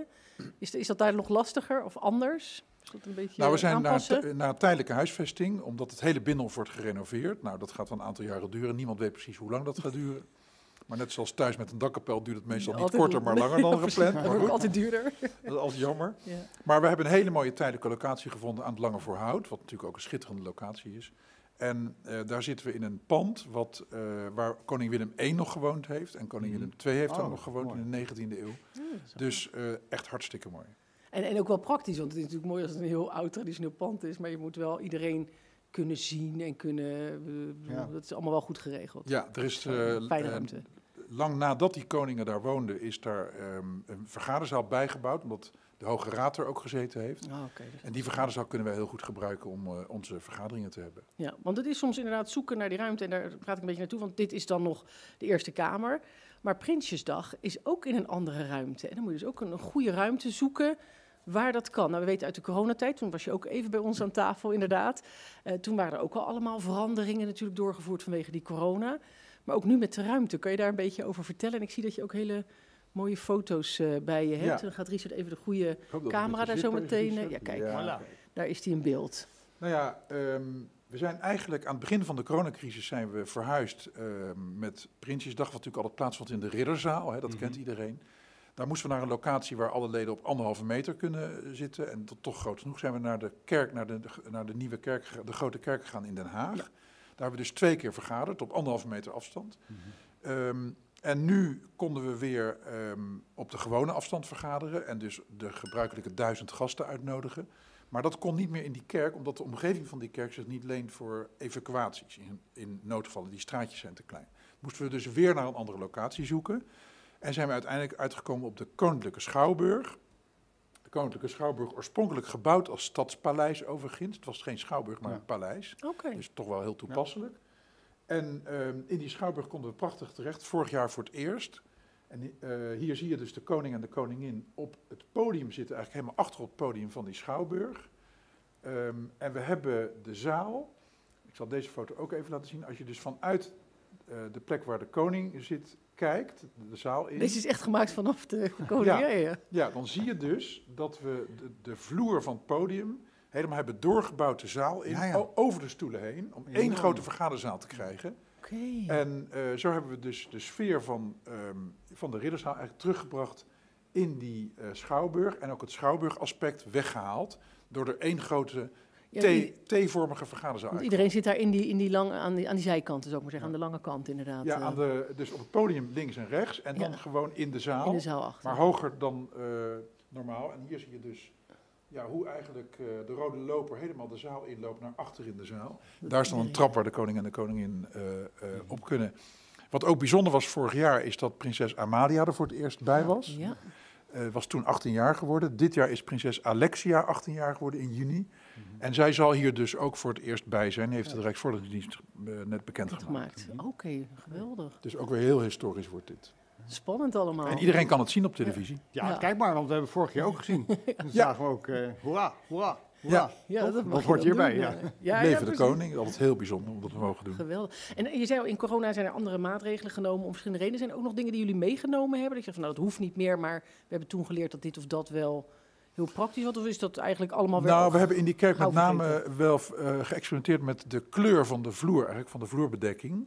Eh, het was, oorspronkelijk was het grijs. Toen de tweede keer zei ik, nou, ik wil toch liefst iets wat een beetje doet denken ook aan de ridderzaal. Toen kwamen we op Ja. die okerkleur uit. En die hebben we nu gehandhaafd, die je hier dus ziet. Ehm, dus die trouwens, het zijn ongeveer dezelfde kleur als hier tapijt, zie je. Ja, Maar- muziek is iets eh, wisselend. Goede gasten uitgenodigd. Maar ehm, ja, dus dat hebben we daar wel van overgehouden. Ja, mooi. Want de, de Eerste Kamer is daarbij aanwezig. En dan kijken we even naar de inhoud. Wat, wat zijn voor jullie als Eerste Kamer grote aandachtspunten tijdens deze speciale, bijzondere vergadering? Ja, het is dus eigenlijk de, het hele parlement is erbij aanwezig. Eerste en Tweede Kamer, het hele kabinet en allerlei gasten zoals bijvoorbeeld eh, de ambassadeurs, oud-ministers, oud-premiers, eh, oud-kamervoorzitters, et cetera. Heel veel mensen. Ehm, die troonrede, dat, is eigenlijk, dat zijn de plannen van de regering voor het komend jaar. Die worden verteld aan het parlement. Daarom zijn alle Eerste en Tweede Kamerleden daar aanwezig. Bij monden van de koning. Dus de koning vertelt dat. Ehm, voor de Eerste Kamer, ehm, ja, wij wachten gewoon af wat daar dus aan wetgeving uit voortkomt. Want al die plannen van zo'n regering, die bijna alles vertaalt zich in wetswijzigingen. Natuurlijk altijd grootschalige plan, dus voor bijna alles heb je wel weer ergens een wetswijziging nodig. En onze taak is dus, zoals we eerder bespraken net, om iedere wetswijziging heel goed te bekijken met de vraag... hoe gaat dit nou uitpakken in dat klaslokaal of in die In brandweerkazerne? ja. Dus je- eigenlijk zit je daar een beetje met van, oh, dit wordt een wetswijziging, dat wordt dan krijg je druk deze komende maand. Ik denk, ik denk dat de leden zo wel luisteren naar die ja, ja, inderdaad. Van nou, dit zou nog wel eens iets voor ons kunnen betekenen. Klopt. ja. En zo heb ik het eerst ook ze- zes jaar gedaan voordat ik voorzitter werd. Ja, trouwens. ja. dat je echt zo. eh, want eh, nou is er sprake van het terugzendrecht eh, als Eerste Kamer. Moet je ook even uitleggen aan onze kijkers. Ja, nou, is graag, zelf helemaal Lieke. uitgezocht al, maar ik- misschien dat er mensen zijn thuis die toch denken terugzendrecht. Nou kijk, als de Eerste Kamer een, een wet zou willen veranderen voordat hij hem aanneemt, dan kunnen we dat in principe niet doen. Wij kunnen dus het werk van de Tweede Kamer ook niet overdoen. Dat is ook goed, want we hebben natuurlijk geen twee dezelfde kamers nodig. Wij moeten gewoon dat product van die, eerste, van die Tweede Kamer nog één keer toetsen op de vraag hoe gaat het uitpakken. Nou komt het natuurlijk toch wel eens voor dat de Eerste Kamerleden zeggen, ja, we willen die wet wel aannemen, die wetswijziging, maar er zit toch wel één dingetje in waar we ons veel zorgen maken. Er komen bepaalde mensen in het land in de knel als we dit zo aannemen. Dus dat willen we veranderd zien. Nou, dat kunnen we niet. Wat we dan wel kunnen is tegen de regering zeggen, dien maar een heel nieuw wetsvoorstel in, met die verandering erin. Maar goed, dat moet dan weer helemaal langs de Raad van State en de Tweede Kamer en komt dan weer bij ons. Eh, dat is nu zo, dus dat is een vrij omslachtige weg. En het terugzendrecht, dat gaat over de mogelijkheid die de Eerste Kamer nog extra zou krijgen om een wet terug te sturen rechtstreeks naar de Tweede Kamer. Hoeft het dus niet meer naar het kabinet, niet meer langs de Raad van State, maar rechtstreeks terug. Dus een veel snellere weg. Ehm, en ja, er zijn voorstanders en tegenstanders van natuurlijk, zoals bij alles. Dus die discussie is nog niet geëindigd. Maar het zou een extra instrument zijn voor ons. Ja, het is gewoon een iets kortere procedure daardoor, iets, iets minder omslachtig. Ja, en de discussie gaat er dan vooral over, moet dan de Tweede Kamer ook het laatste woord hebben? Of houdt de Eerste. Kamer zijn vetorecht en gaat die gewijzigde wet dan weer terug naar de Eerste Kamer? Ja. Nou, daar zijn dus de geleden nog niet over gesloten. Dus daar wordt nog volop over uh, gediscussieerd. Hebben jullie wel eens een wet over een onderwerp die zegt van, nou ja, jullie, jullie zitten met eh 100... 75 Eerste Kamerleden ja. ja, en 150 Tweede Dat zijn Kamerleden. natuurlijk een heleboel specialisten op verschillende gebieden. Maar heb je al eens een, wettetje, een wetswijziging gezegd, ja, we hebben hier eigenlijk geen expert over in huis? We gaan Zeker, natuurlijk. erbij vragen? Ja, ehm, en dan, nou, dan kunnen de Kamerleden vragen om een expertmeeting. Dus die kunnen daar deskundigen uit de samenleving voor uitnodigen. Dat gebeurt ook heel regelmatig in de Eerste Kamer. En dan zitten de Kamerleden dus apart met experts op een bepaald gebied.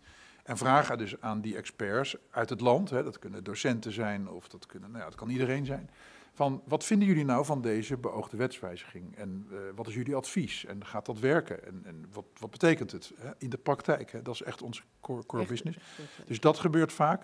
En wat de Kamerleden ook kunnen doen, is een zogenaamde technische briefing organiseren. Dat houdt in dat ze rechtstreeks aan tafel gaan met ambtenaren van het betreffende ministerie, waar die wetswijziging is geschreven. En aan die ambtenaren vragen van, ja, hoe moeten we dit nou interpreteren? Of waarom hebben jullie dat zus en zo gedaan? Nou, dat zijn dus feitelijke vragen aan ambtenaren. Niet politiek, want dan moeten ze natuurlijk bij de bewindspersoon zijn, bij de minister of staatssecretaris. En dat heet een technische briefing. En dat gebeurt heel veel. Oké, dus dan word je echt eventjes eh, goed weer bijgepraat voor Ja.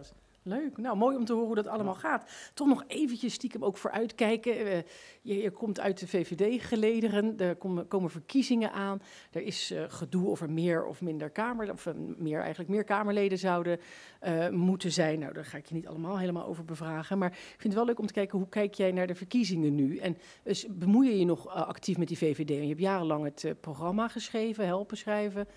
Ben je daar nog actief mee bezig? Of zeg je dat is nu echt aan een volgende... Nee, want in mijn huidige functie hè, als, als Kamervoorzitter eh, is mijn neutraliteit ontzettend belangrijk. Het is een beetje hetzelfde als een, als een scheidsrechter op een voetbalveld. Die kan ook niet zich dan toch weer met een van de teams meer bemoeien of de ander. Want voor, voor- voordat je het weet, dan lijkt hij niet neutraal. Dan is het heel snel gebeurd met die scheidsrechter. Nou, dat is met een voorzitter ook. Dus ik bemoei me niet met de interne VVD-zaken meer. Ehm, heb ik, dat heb ik in het verleden wel gedaan, was ook hartstikke interessant. Maar mijn taak is echt zorgen dat de leden hun werk goed kunnen doen, dat ze goed geïnformeerd zijn, dat het ook snel genoeg gaat, maar dat er ook weer genoeg tijd is om het te doen, om die discussies te voeren. eh, om waar nodig eh expertmeetings te organiseren of technische briefings. Ehm, en daar heb ik mijn handen vol aan. Dus ik, ehm, ik bemoei me niet met die eh, inhoudelijke zaken binnen partijen. En eigenlijk dus ook niet heel erg met die verkiezingen. Bedoel, dit Nee, is wel nee, van belang, maar... Nee, wij, wij kijken vooral ook naar die verkiezingen. Hè, van de, die gaan nu over de Tweede Kamer, niet over ons. Dus dan is het al wat, wat meer afstand. Maar wij, wij kijken natuurlijk wel vanuit de Eerste Kamer naar de verkiezingen van... oké, wat zou dit dan kunnen betekenen voor nieuwe wetswijzigingsvoorstellen? Ja. Hè, want eh, de verkiezingen zorgen ervoor dat sommige verkiezingsprogramma's straks veel invloed krijgen... omdat er een regeerakkoord uitgemaakt wordt. Dat is altijd een deel van de programma's. Zo'n regeerakkoord vertaalt zich in die 250 wetswijzigingen... Dus in die zin is het voor ons natuurlijk heel interessant om te kijken welke partijen gaan er winnen, welke gaan samen een kabinet vormen, Hoe ziet dat regeerakkoord eruit? En hoe zien dan, die wetswijzigingsvoorstellen die daar weer uit gaan rollen uit? En daar zijn wij natuurlijk heel erg in geïnteresseerd. Ja, grappig. Nou, nog heel even over jou eh, als, als voorzitter natuurlijk helemaal, maar als senator ook. Je bent je bent onafhankelijk. Jij komt uit de universitaire wereld, uit die, die ziekenhuiswereld. Mag je dan over alles meestemmen met iedere wetswijziging? Stel dat er iets gaat over de salarissen voor eh, medische specialisten of zo, zou ik maar zeggen. Dan ben je natuurlijk een beetje gekleurd, want dat is jouw, wat je de andere vier dagen dan doet. Hoe, hoe gaat zoiets in zijn werk? Ja, dat is een hele goede vraag en- en die is ook relevant. Kijk, alle Eerste Kamerleden hebben in tegenstelling tot Tweede Kamerleden, omdat ze er maar één dag zitten, die Eerste Kamerleden, ergens nog wel andere dingen in de samenleving te doen. Die zijn aan het werk of desnoods doen ze vrijwilligerwerk of ze zijn met pensioen, maar hebben weer andere belangen. Dus er zijn altijd belangen bij iedereen, niet alleen bij mij. Ehm, en die belangen, wat we daarmee doen, is we hebben een zogenaamde integriteitscode in de Eerste Kamer. eh, en die code schrijft voor, die hebben, hebben we onszelf voorgeschreven, dat al die belangen worden vermeld op de website van de Eerste Kamer. Dus iedereen weet, ieder mens in Nederland kan zien dat ik bij een universiteit werk en in een ziekenhuis en dat een ander misschien bestuurder is van een pensioenfonds eh, of radioprogramma's of tv-programma's maakt zoals jullie. Ja, Hè? Media, media weten. En dan is het in ieder geval duidelijk. En als het belang erg dichtbij ligt, dan kan het zijn dat een woordvoerder aan het begin van het debat zegt: Ik ga vandaag het woord voeren namens het CDA, maar ik wil even gemeld hebben. Ik ben bestuurder van een pensioenfonds of ik ehm, werk in een school. En het gaat vandaag over lerarensalarissen. En als het belang echt te groot wordt, naar de inschatting van de leden zelf overigens, dan kan het ook zijn dat iemand zegt: Ik word geen woordvoerder op dat terrein. Ja. Dat is bijvoorbeeld bij mij gebeurd toen het ging over de donorwet. Het ging over de orgaandonatie. Nou, ehm, ik was toen op dat moment de enige dokter, ik geloof zelfs het hele parlement. Ik was toen nog lid, nog geen voorzitter. Dus ik zou dat gaan behandelen. Maar ik heb ook te maken in mijn werk in het LUMC met transplantatiepatiënten. Dus dan zou toch de schijn van belangenverstrengeling er kunnen zijn. Ja. Ook al heb ik geen financieel belang en geen rechtstreeks belang, ik ben ook zelf geen patiënt. Maar toch, omdat ik met patiënten werk, zou dus een buitenstaander kunnen denken, ja, dan, dan is hij niet meer helemaal neutraal. Ja. En daar zou die buitenstaander ook gelijk in kunnen hebben. In ieder geval dat die schijn ontstaat. Dus toen heb ik zelf gezegd, ik moet hier geen woordvoerder op worden. En dat heeft toen Frank de Graven gedaan, de oud-minister van Wat Defensie. wel heel dubbel is, want je wel de enige, of de enige, maar met, met echte kennis van zaken, zou ik maar zeggen. Dat is altijd een soort moeilijk iets. Dat is, dat is iets een moeilijks. leraar Maar, is de enige die in feite echt kan oordelen of een leraar dat een klopt. salaris goed dus is. dat is, een, dat is een afweging van belangen. Je kunt natuurlijk wel altijd binnen je fractie, eh, als je geen woordvoerder bent, ben je in je fractie wel natuurlijk altijd in gesprek en praat je wel mee. Dus op die manier kun je de kennis wel inbrengen. Ja. Dan, dan nog eventjes toch naar, naar de verkiezingen. En dan niet alleen in Nederland, maar ook in Amerika en andere landen. En ons vakgebied. Wij zijn heel erg natuurlijk van die, van die technologie. Ik ben in Kosovo geweest voor die artificial intelligence. Hebben jullie het daar überhaupt over? Zijn jullie bang dat op een gegeven moment de, de verkiezingen gehackt worden... of mensen beïnvloed worden door deepfakes van eh, politici die wat zeggen? Of, of, of speelt dat helemaal niet? Dat speelt enorm. Eh, AI is, is volop in de aandacht, ook bij ons, in de hele samenleving natuurlijk, maar ook zeker bij ons. Ehm, je, je hebt het even over het hacken van de verkiezingen. Nou, de, de, al ons werk is natuurlijk eh, met veiligheidsmaatregelen omgeven. Hè, op dat gebied daar hebben we ook hele goede mensen voor.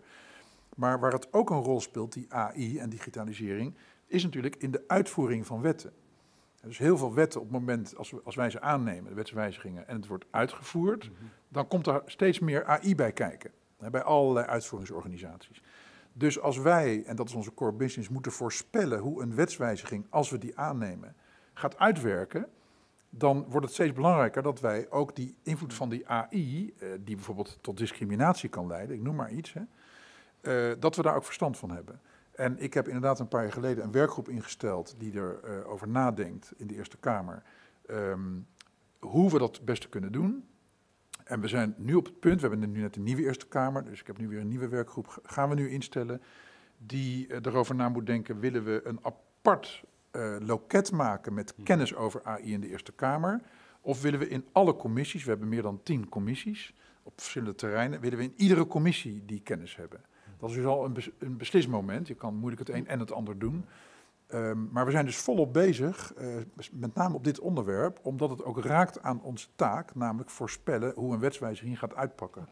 Mooi. Oh, goed om te horen dat jullie er zo bovenop zitten. Dat vind ik, eh, vind ik leuk. En inderdaad, ik herken die discussie van inderdaad, moet het overal in de, in, in de organisatie zitten of moet er één aanspreekpunt zijn? Ja. Waarbij het risico loopt als er één aanspreekpunt is dat het te veel daar blijft hangen en niet eh, Precies. ver genoeg doorgaat. Ja. Nou, ik vind het ontzettend interessant. Heb jij nog Ja. eh, iets wat je... Ja, Richard, eh, heb jij nog wat? Nee, ik, ik, ik zit te luisteren en ik zit te leren hier, jongens. Het is eh, ontzettend goed eh, zo bij elkaar. Nee, ik ben eigenlijk heel praktisch even eh, nieuwsgierig naar eh, de verbouwingsperikelen eh, voor de, de Eerste Kamer. Eh, is er enig zicht op eh, hoe de, de planning in loopt, zeg maar? Nou, ten eerste is het gelukkig geen verbouwing, maar een renovatie. Ja, dat zou nog, nog veel langer gaan duren. Maar ondertussen Ehm. Eh, nee, daarvoor moet je echt bij, het- bij het Rijksvastgoedbedrijf zijn. Kijk, wij zijn maar de, de Ja, gebruiker hè, van het pand.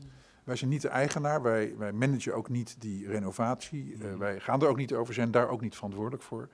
Dus eh, we zijn natuurlijk wel, hè, wij kloppen wel regelmatig aan bij de, de landlord, bij de eigenaar van jongens, Ja. hoe gaat het? En schiet het nog op? En we hebben dus ook bepaalde wensen. Ehm, maar eh, voor be- beantwoording van die vragen zou je echt iemand van het Rijksvastgoedbedrijf moeten uitnodigen. Die misschien ook best Ja, leuk vinden om eh, te Ja, komen vertellen. wel een leuk Ja, zeker. Want ik, hoorde al dat we een soort Louvre-achtige entree krijgen. om, eh, misschien dat hij dan met tekeningen komt. binnen Hoe te dat, komen. Ja, dat- Er is net een nieuwe directeur-generaal van het eh, Rijksvastgoedbedrijf, dus die zou je kunnen uitnodigen. Oh, dat is wel heel erg leuk. Dat gaan we zeker doen. De Prinsjesdag dan, die komt eraan. We gaan natuurlijk naar je kijken op de televisie. Weet je al wat je... Doe je ieder jaar hetzelfde aan? Of, of Ja, bij mannen zie je... Ja, ja. dat kun je op de foto dat zien. mannen eh, dat toch makkelijk? Het kledingvoorschrift is een jacket. Ja, dan gaat niet ieder jaar een nieuwe... eh, Ik ga niet ieder jaar een nieuw jacket. Nee, zo, zo snel slijt hij niet. Dus eh, ik heb gewoon dit jacket wat je daar ziet, heb ik nog steeds. Echt, En, alle eh, vrouwen zijn nu jaloers. zeg maar. Ik verheug me er weer enorm op om dat eh, te mogen doen. Het is een hele grote eer om dat te mogen doen. Want is dat altijd zo, maar Eerste Kamer, Tweede Kamer, voorzitter, eh, wisselen die elkaar niet af of zo? Of hoe, eh? Nee, ehm, eigenlijk is die bijeenkomst bij Prinsjesdag is een verenigde vergadering van de Staten-Generaal. Mhm.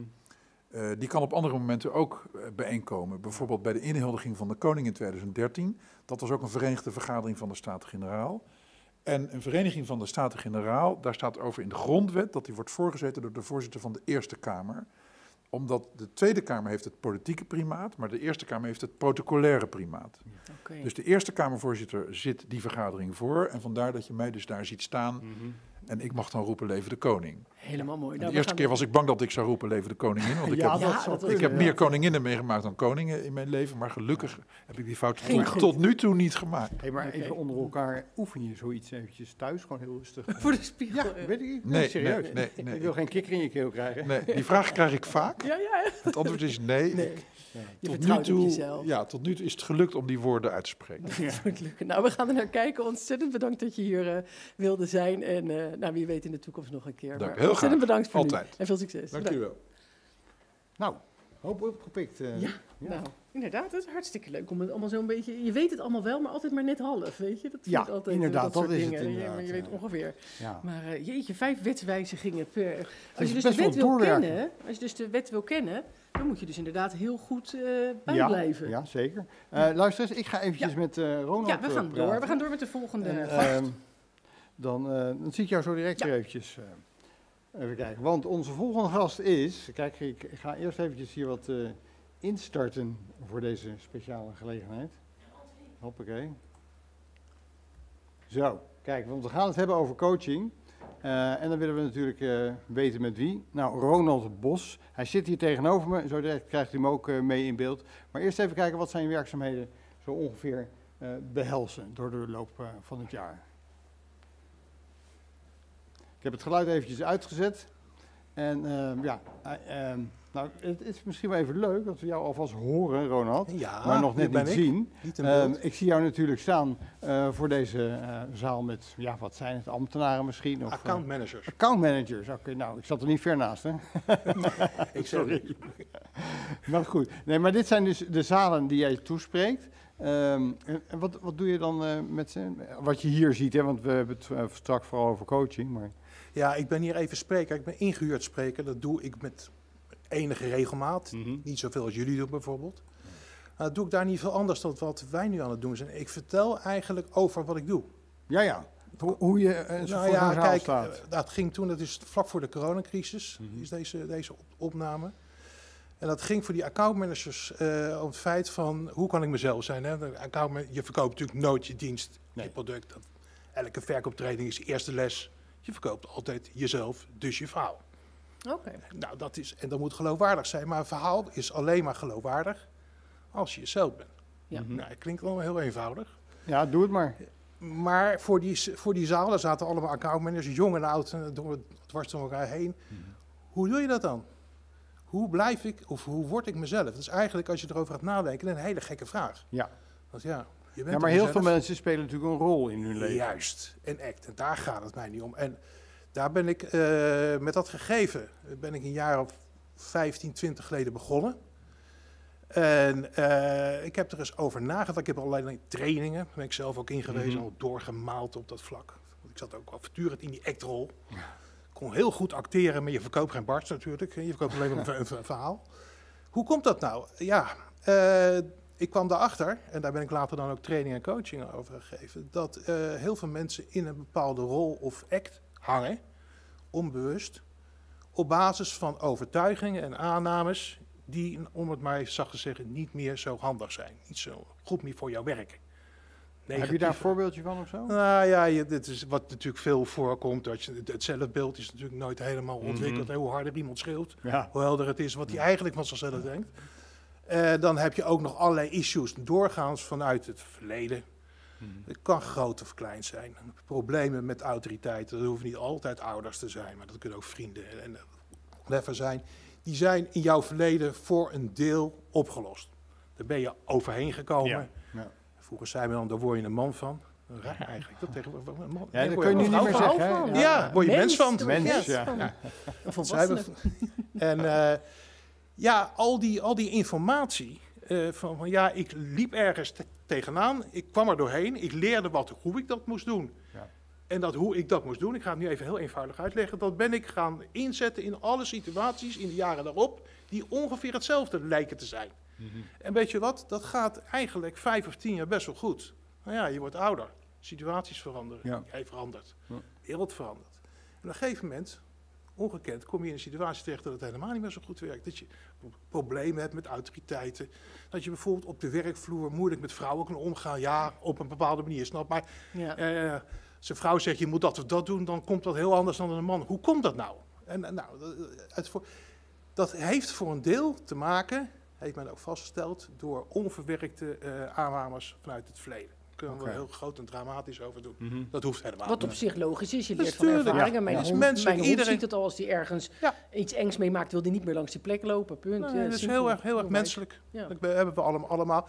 Is dat een drama? Wel, nee. Mhm. Het wordt alleen een drama, als we dat woord erop mogen zeggen, als jij het een drama begint te gaan Ja. vinden. Nou, daarna vervelend. Ja, last Dat je, dat het je ergert. En we hebben allemaal, wij hier alle drie nu, allemaal issues in ons leven Nou. waarvan we denken van nou, als ik dat nou eens niet meer zou doen, zou het een stuk handiger wezen. Nou, en, en, en, en ik merk dan... Ja. Ik denk, ik hou even woord wijs in mijn mond. ja, dat is voor de volgende uitzending. Voor de volgende uitzending. voor de volgende uitzending. Nou, ehm, wat, wat blijkt nou, en dat, dat integreerde mij eigenlijk tot op de dag van vandaag, hoe kunnen nou intelligente mensen met een goede opleiding, jaar in jaar uit, negatieve aannames en overtuigingen die hun hinderen, duidelijk, waarvan ze ook bewust zijn dat ze ze hinderen, toch blijven doen? Ik, joh, dat is- eh, als ze het er wel eens over hebben met vrienden, vrienden dus zeggen zij, de meeste vrienden zeggen, nou dan stop je er toch ook mee. Ja. Maar zo simpel ligt het dus niet. Er is, en daar kwam ik op een gegeven moment achter, altijd een reden, of redenen, waarom je ze toch blijft doen. Ja. En dat is heel pijnlijk. Daar ben ik zelf uiteraard ook doorheen gegaan. Dat heeft te maken met het feit dat het je ook wat oplevert. En wat levert het dan op? Nou, dat kan van alles zijn. Dat kan aandacht zijn. Dat kan zijn dat je toch eh, altijd ge- gelijk hebt. Hè? Dat is heerlijk. Ja. Als je eigenlijk altijd gelijk hebt. Dat Maar jij hebt is nog niet- altijd gelijk. Nee, natuurlijk niet. Nou, ik heb serieus wel Nou, jullie onderling dat... eh, vriendinnen die eh, zeggen... ja, maar dat weet je bij mannen, dat gaat altijd zo. En ik, als je dat tien keer zegt, dan Ja. gaat het dus ook zo. Ja, dan oké, bevestig je dat eigen de self-fulfilling prophecy. eh, Ja, ja, ja. Ja, nou goed, eh, eh, wat ik ermee wil wilde zeggen is dat, dat, dat we, we hebben een hele set van aannames en overtuigingen. Ik, probeer dat wel eens heel simpel samen te vatten in, eh, in sessies die ik geef, dus gaan we het zo misschien nog ook weer over hebben. Kijk, als je het zou kunnen samenvatten, dat 100% als je het zo zou kunnen zeggen, van alle aan- aannames en overtuigingen, dan is 15 à 20 procent, pin me er niet aan vast, niet meer zo effectief door de jaren. Ja. De een is dat 20, de ander is de 40, heb je wel een groot probleem. Of de ander is 5. Maakt uit, grosso modo 15 of 20. Denk je, nou, daar daar kan ik wel wonder mee worden. Wat maakt het nou uit? Nee, de aandacht die wij geven aan die 15 à 20 procent is buitenproportioneel. Dat gaat in zinnen van, oh, heb je mij weer. Zie je wel, dat doe ik dat weer. Ach ja, ben ik weer. Als ik daar nou zo... En alle andere genres die... En nou wel, weet elke psycholoog en gedragsdeskundige dat die, die, die kernwaarheid overal waar aandacht naartoe gaat, ja, Ja, Groeit. groeit. wordt ze goed. Dus als jij onevenredig veel aandacht besteedt aan jouw negatieve hinderende aannames, blijven ze A lekker intact. En B worden ze ook nog sterker. Sterker dan ze eigenlijk zijn. Mhm. Ja. Nou, dat is één antwoord op jullie vraag. De tweede zijn de aannames en overtuigingen die jij, je, nou maar even plat zeggen, laat aanpraten. Ja. Dan zeg je, ja, je moet dus dit, je moet dus dat. En, dat, en als dat zich herhaalt, vooral in de Mhm. opvoeding gebeurt het heel vaak. Je had het net over die kinderen, daar zag ik het ook weer terug. Ja. Dan ga je over me heen toch denken, zou ze toch gelijk hebben. Ja. Ik ben gewoon zo. Ja. Ik ben eh, eh, een raar eh, knulletje, of ik ben een raar meisje, of Ja. ik praat te veel, of ik ben te Oh, stil. hele Want wat is er mis met stille meisjes en veel Ja. praten? Niets. Eh, en, en nou, en dat, het alleen al scheiden bij mensen in de coaching tussen overtuigingen en aannames die jou blijkbaar Mhm. hinderen, Ja. waarvan je zelf vindt dat ze je hinderen, van die overtuiging waarvan anderen vinden dat ze je hinderen, dat is al een hele tour. Mhm.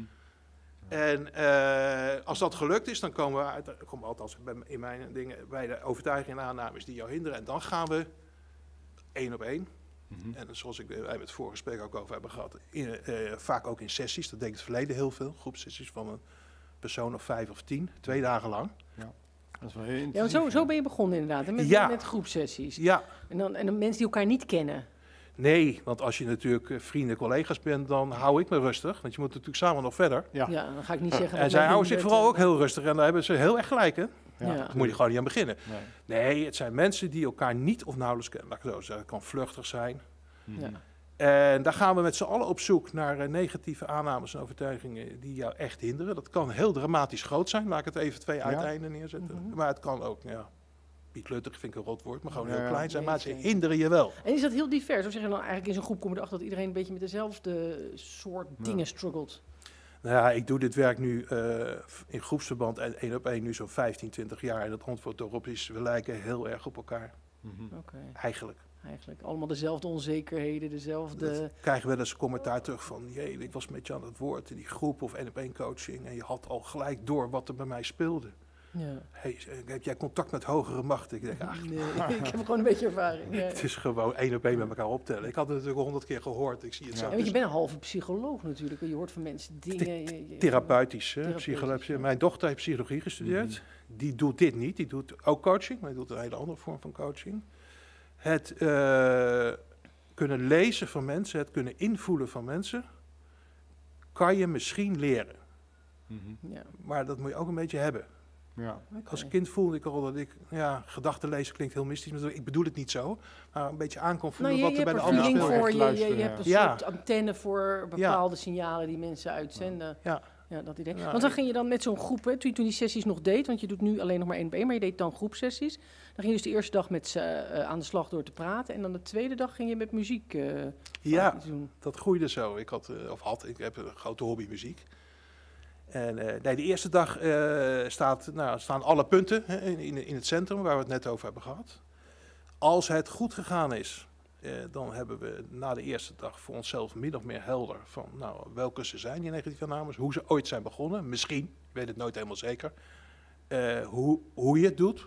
Klinkt nou heel mystisch, maar ik, ik krijg door mijn ervaring door van op welke manier jij het doet. En vooral waarom je het doet. Daar gaan we in de tweede dag oefeningen doen. Die eerste dag is heel diep, of kan heel diep zijn. Kijk, ik roep wel eens meer tegen groepen, we gaan zo ver als jullie willen dat we gaan. Ja. Dit, dat is, je bent er zelf bij.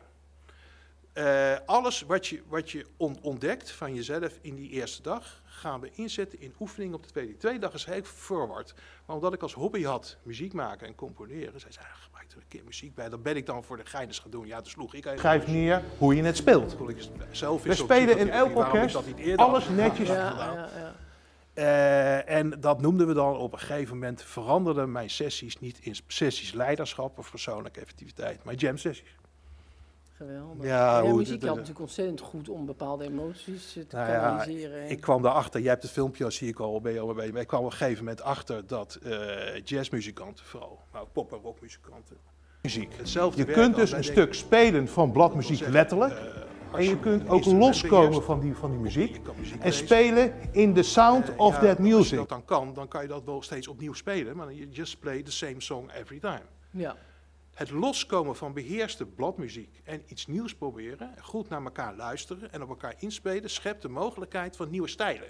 In feite zou je kunnen zeggen dat de hele ont- ontwikkeling, van, de, van big bands tot aan eh, pop, rock, soul, lalala, tot aan de huidige muziek, dan één grote jam sessie is. Elke Ja. keer waren er weer muzikanten die loskwamen van bestaande bladmuziek en weer wat nieuws deden. En dat krijg je natuurlijk eerst kritiek, het kan allemaal niet, zo, dan wordt dat ook weer blad, bladmuziek. En wat mij integreerde, tot op de dag van vandaag, integreert dus, waarom gaat dat in de kunst dan wel zo makkelijk? En doen wij het op het gebied van leidinggeven, leiderschap? Waarom doen we daar zo Ja, moeilijk er is over? een enorme discrepantie tussen inderdaad de creatieve sector en de, ja, de meer zakelijke sector. Is ook omdat je dat vanaf de lagere school krijg je dat je allemaal in het stramien moet passen. Je moet vooral niet buiten die lijntjes kleuren of creatief zijn. Als je, als je iets beheerst, als je een afdeling kan leiden, als je een goed bedrijf kan leiden, Dan kan je dat. Ja. En dan ga je heel hard schreeuwen op congressen. Je moet veranderen, vernieuwen. Want wij elke ondernemer weet, als je niet meer innoveert, houdt het op. Ja, Dus je bent voortdurend bezig met innovatie, maar je wil niks opgeven. nee. Ja, dan blijf je elke keer hetzelfde Dan doen. Dan ben je hem ook zelf hoogstens aan het aanpassen. Ja. Of dat verkoop je dan als innovatie. Ja. Terwijl, ja, als je jazz maakt of popmuziek, ja, dan, dan ga je van die gebaande schaap af. Ja, ik heb hier even een klein Ja, ik speel daarvoor. Ja, ja. Vernieuwing zit elke Ja. keer in het zoeken van bestaande bladmuziek naar verschillende modes. Dat is, gaat iets verder dan gewoon jam. Het album wat jullie er net hoorden, en dit, Kind of Blue, is letterlijk zo dus opgebouwd. Elk nummer kende twee of drie chords. Dat was eigenlijk het plan van aanpak. Niet meer dan dat. En voor de rest, je had natuurlijk fantastische muzikanten, ze beheersten hun vak heel goed. Voeg Miles niet alleen en niet minder van just play in the sound of the chords. Ik zet hem even stil, want mensen kunnen dat gewoon eh, rustig op eh, internet YouTube, zelf bekijken inderdaad. Maar er staan hele mooie video's inderdaad waarbij je dat uitlegt hoe je met dezelfde tonen eh, totaal andere En je invullingen moet dan kan durven geven. loslaten voor creatief. Het is ook heel angstig. Als je creatief gaat zijn, dan ga je af van de, gepaden, eh, Ja. de ge- gebaande paden waarvan je weet, dit levert dit op, min of meer. Daar ben ik door ervaring achter gekomen. Dit zou, hè, zeker, dit zou helemaal mis kunnen gaan. Nou, als je een nummer hebt wat je helemaal verstiert, nou, jammer dan. Dan kun je ook nog wel zeggen creatief is. Maar als je natuurlijk in, in een business zit of in een, in een sociaal conduct met, met, met mensen om je heen. Ja. Ja. als je dan helemaal verstiert, is het ook wel angstig. Dus dan kun je maar beter braaf op dat paadje misschien blijven. Veilig, eh, hè, ik zou je vertellen, het gaat natuurlijk altijd mis. Het moet misgaan. Net, net met fietsen, leren fietsen is gewoon elke keer eraf vallen. En je, hebt kinderen, je hebt kinderen zelf, je hebt Ja. gezien hoe ze leren fietsen. Nou ja, Ja. geldt voor je eigen leven ook. Eh, wat Miles deed is, want daar ging het dan over, hij is daar een prachtig voorbeeld, maar er zijn meerdere.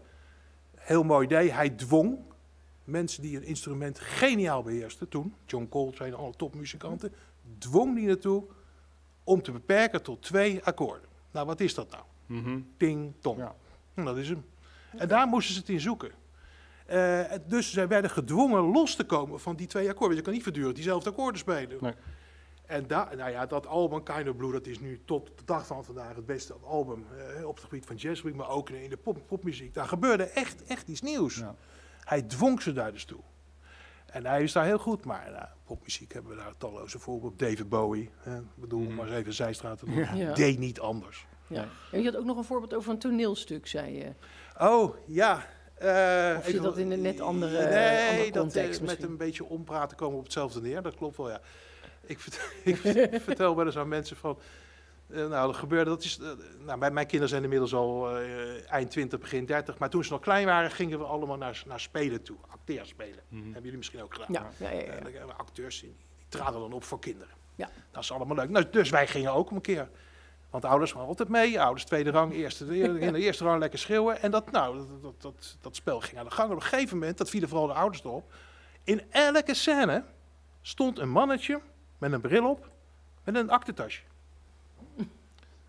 En moment, ja, die kinderen die zagen dat niet meer. Maar dat ging maar door, dat ging maar. Wat er ook gebeurde, die, elke keer stond die mond. En die deed niks.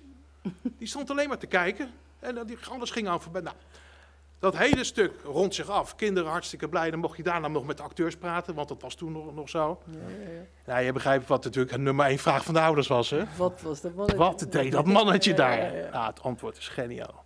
Dat mannetje, zeggen ze, is onze professor.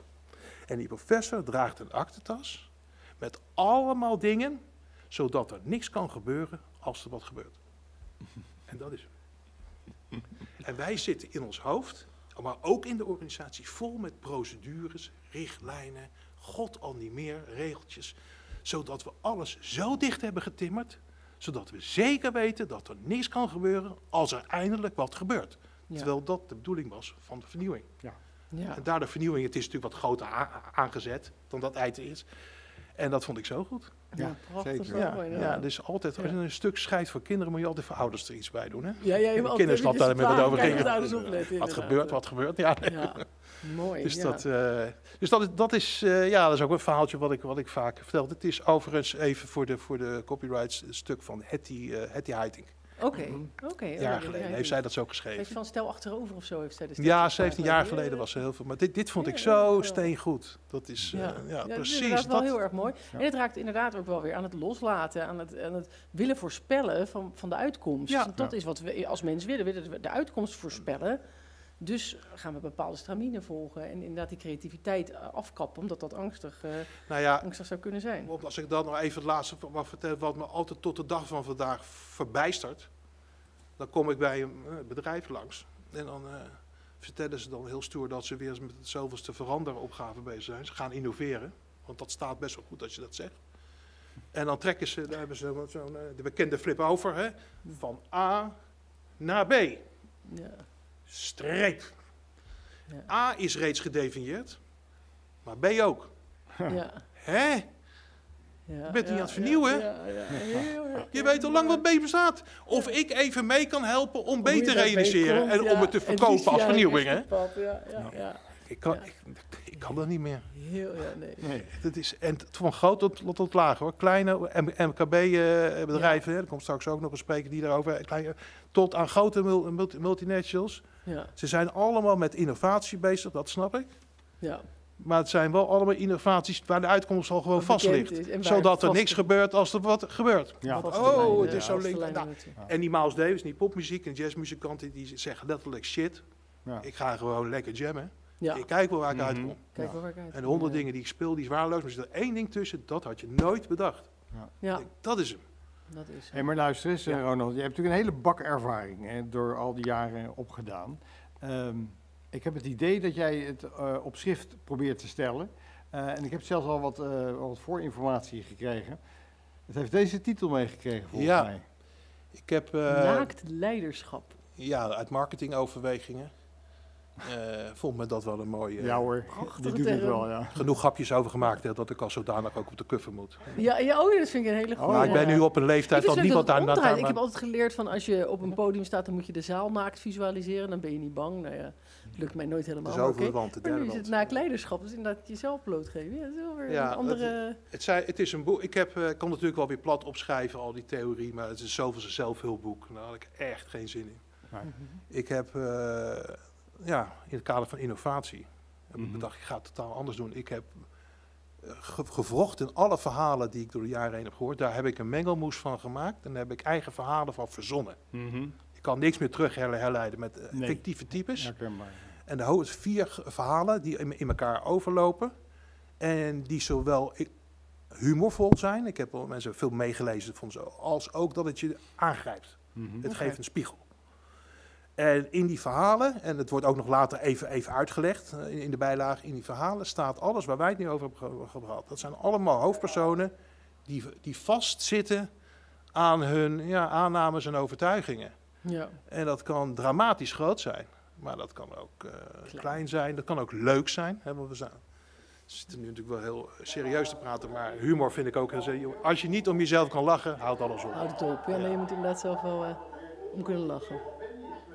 Dat zie ik er iets, iets hoor ik Ja, er doorheen nee, eh, kijk, ik heb hier... eh, gaan. Hans Kazan. Zo, ik heb Hans Kazan, maar... Oh, die gaan we eh, even kijken. Die heb ik netjes eventjes op de erbij knuffel staan, dat je mooi Dat is expres zo doen. oudbollig. En, en, toen, en toen gingen we nadenken, toen kwam er Maar hij heeft eigenlijk dus ook niet cover die bij jou aan kan sluiten. Dat hij wel een beetje we zoeken was. Ja, het inderdaad. Oh, ja, die wilde daar. Ja, maar dit is Ja. geen suggestie voor jouw boek, dat zou ik zeker Nou, niet ik doen, ben op, ik, toen ik een jaar of twintig was, waren er misschien vrouwen die het interessant vonden. Maar nu dus bladert iedereen gelijk door hoor. Vermoed ik. wel de aandacht in het schap. Ja, Ja.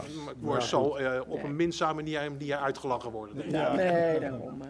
Maar wel goed dat je daarmee eh, mee aan de slag bent, inderdaad. Ik, ik had nog wel een vraagje over die. eh, je doet coaching sessies. Je, je, je bent spreker, laten we dat even opstellen. Ik spreek ook. Je spreekt ook. Ja. En je doet vooral één op één coaching. Nu wel, ja. Want jarenlang waren die sessies en die zijn langzaam veranderd naar één één op één. Mhm. Dat is vanzelf gegaan. Ja. Want je begrijpt natuurlijk wel, uit die sessies kwamen natuurlijk ook weer één op één vragen. Ja. Ik wil Ja. nog even doorgaan op dit. Ja. Ik wil eens met, Ja. nou, op een gegeven moment ben ik één op één gegaan doen. Dat bleef toen zo. Mhm, mhm. Nou, we krijgen de coronacrisis, daar hoef ik jullie niks over te vertellen. En toen moest alles via het scherm, over negatieve aannames gesproken. Ja. En ik schreeuwen, dat ik- zoals ik coach, ik kan wel niet via het scherm, maar oh nee, dat werkt niet. En de, Nou, zijn het voor lieve leed toch maar gaan doen. Helemaal fout. Ja. Ging juist extra goed. Werkt als een trein via het scherm. Dus ik had niet een klein beetje verkeerd. Maar heel Ik zat heel ook weer Ja. in mijn eigen aannames vast. Weer wat geleerd. Tuurlijk. Ja, grappig inderdaad. Ja. En nou die coaching, want je, je zegt al van de mensen willen toch nog even daarover doorpraten of daarover doorpraten. Hoe doe je dat met je WhatsApp, zou ik maar zeggen? Hoe, hoe bedoel je? Nou ja, de mensen komen toch wel altijd eventjes een berichtje dit of een berichtje dat. Je coacht mensen, dus op een gegeven moment is dat afgelopen. Mogen ze jou eh, dan nog wat appen? Doen ze dat? Of stel, hoe stel je daar pa- paal en perk aan dat ze, dat ze je...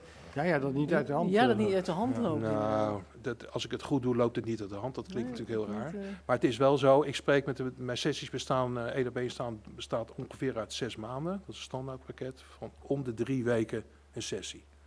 Maar er wordt vaak van afgeweken hoor. Soms heb je elke week een sessie en dan weer een maand of twee niks. Ja. Ja. Al naar gelang. Ja. Tussen de sessies ben ik belbaar en appbaar.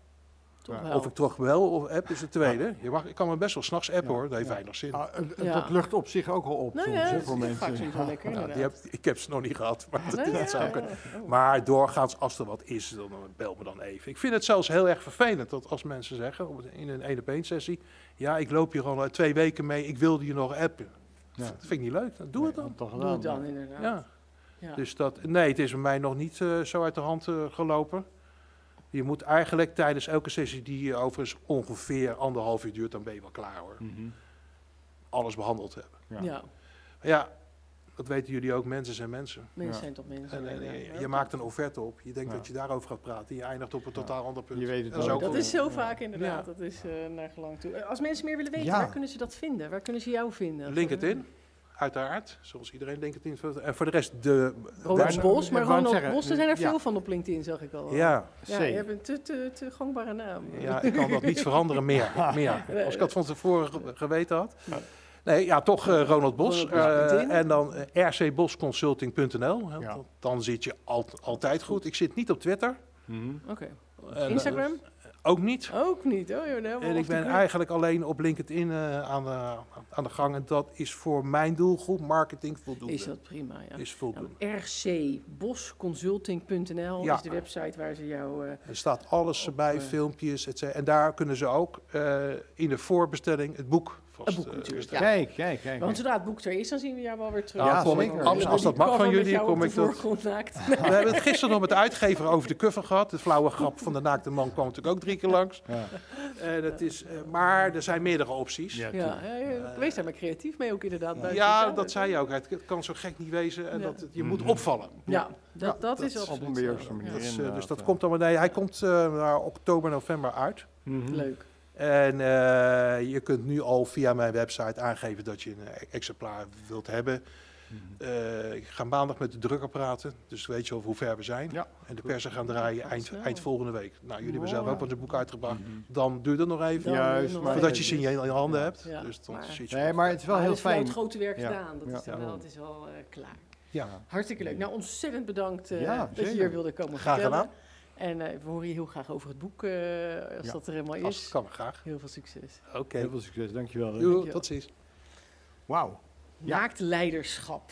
Nou, ik ben, ik ben heel benieuwd. Ik ga het boek wel lezen. want Ik wil dat Ja, wel, dat eh, snap ik. Leiderschap is op dit moment helemaal zo'n zo'n zo'n booming term, inderdaad. Van hoe doe je dat op een goede manier? Maar naaktleiderschap had ik nog niet gehoord. En dat Ja. belooft in ieder geval alsof dat eh, nieuwe inzichten gaat geven. Ja, we lopen weer lekker over de tijd heen, lieve mensen. Fijn dat u nog steeds kijkt. Dat geeft niks, want we hebben hele interessante gasten. En eh, we gaan richting het einde, maar toch nog even tien minuutjes, kwartiertje praten met de laatste gast eh, van vandaag. Dennis van der Voort is hier aangeschoven. Hij is voorzitter van Ondernemend Lissen. Ja. Welkom. Dankjewel. Leuk dat je er bent, vanuit Lisse. Ja, zeker. Het is altijd weer genoeg om bij jullie aan te schuiven. Ja, en regelmatig met een andere pet op, volgens ja, mij. ja, maar dat is een soort wisselwerk. Wij af en toe bij jou in de ja. podcast en jij af en toe hier, eh, hier aan tafel. Maar sinds wanneer ben jij voorzitter eigenlijk? eh, Eh, maart Lisse? 2022. Oké. Anderhalf jaar alweer. Ja. Hoe ondernemend is Lisse? Nou, Lisse is een, een niet al te grote gemeente met zo'n eh, 22.000 inwoners eh, en een daarbij passend bedrijfsleven. Zo'n 120 leden eh, in de ondernemersvereniging en dat is eh, van eh, allerlei pluimage. En ondernemend Lisse is de fusievereniging van eh, de businessclub, dus daar zit heel veel dienstverlening in en bouw en dergelijke. En de horeca, dat was een aparte vereniging, zijn eh, afgelopen 1 januari samengegaan.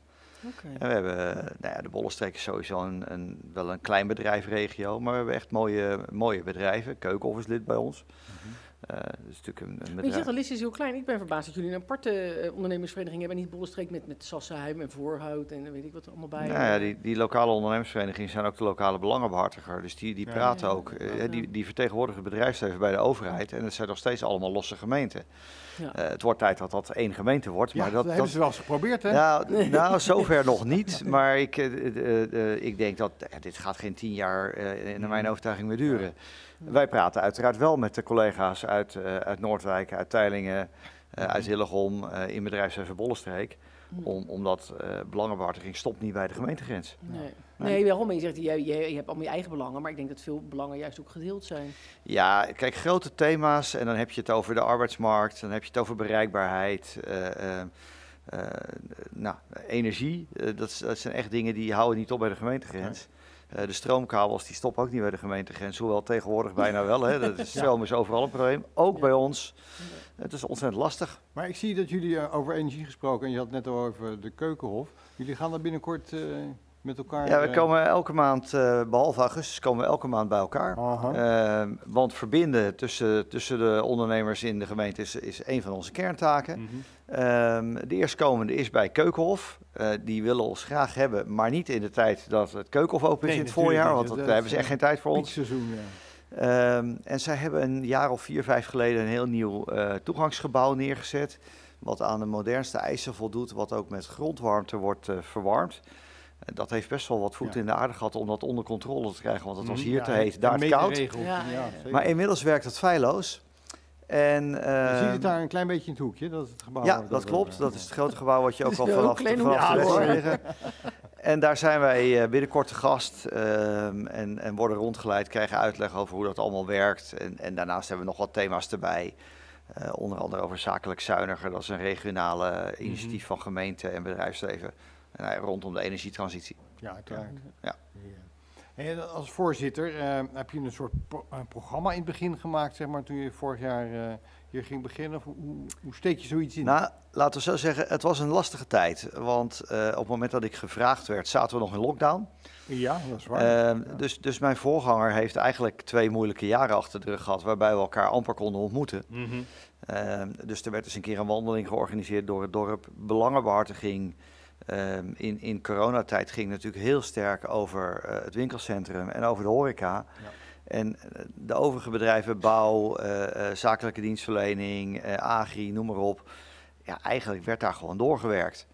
En het zij thuis, het zij op afstand, dat, dat ging wel.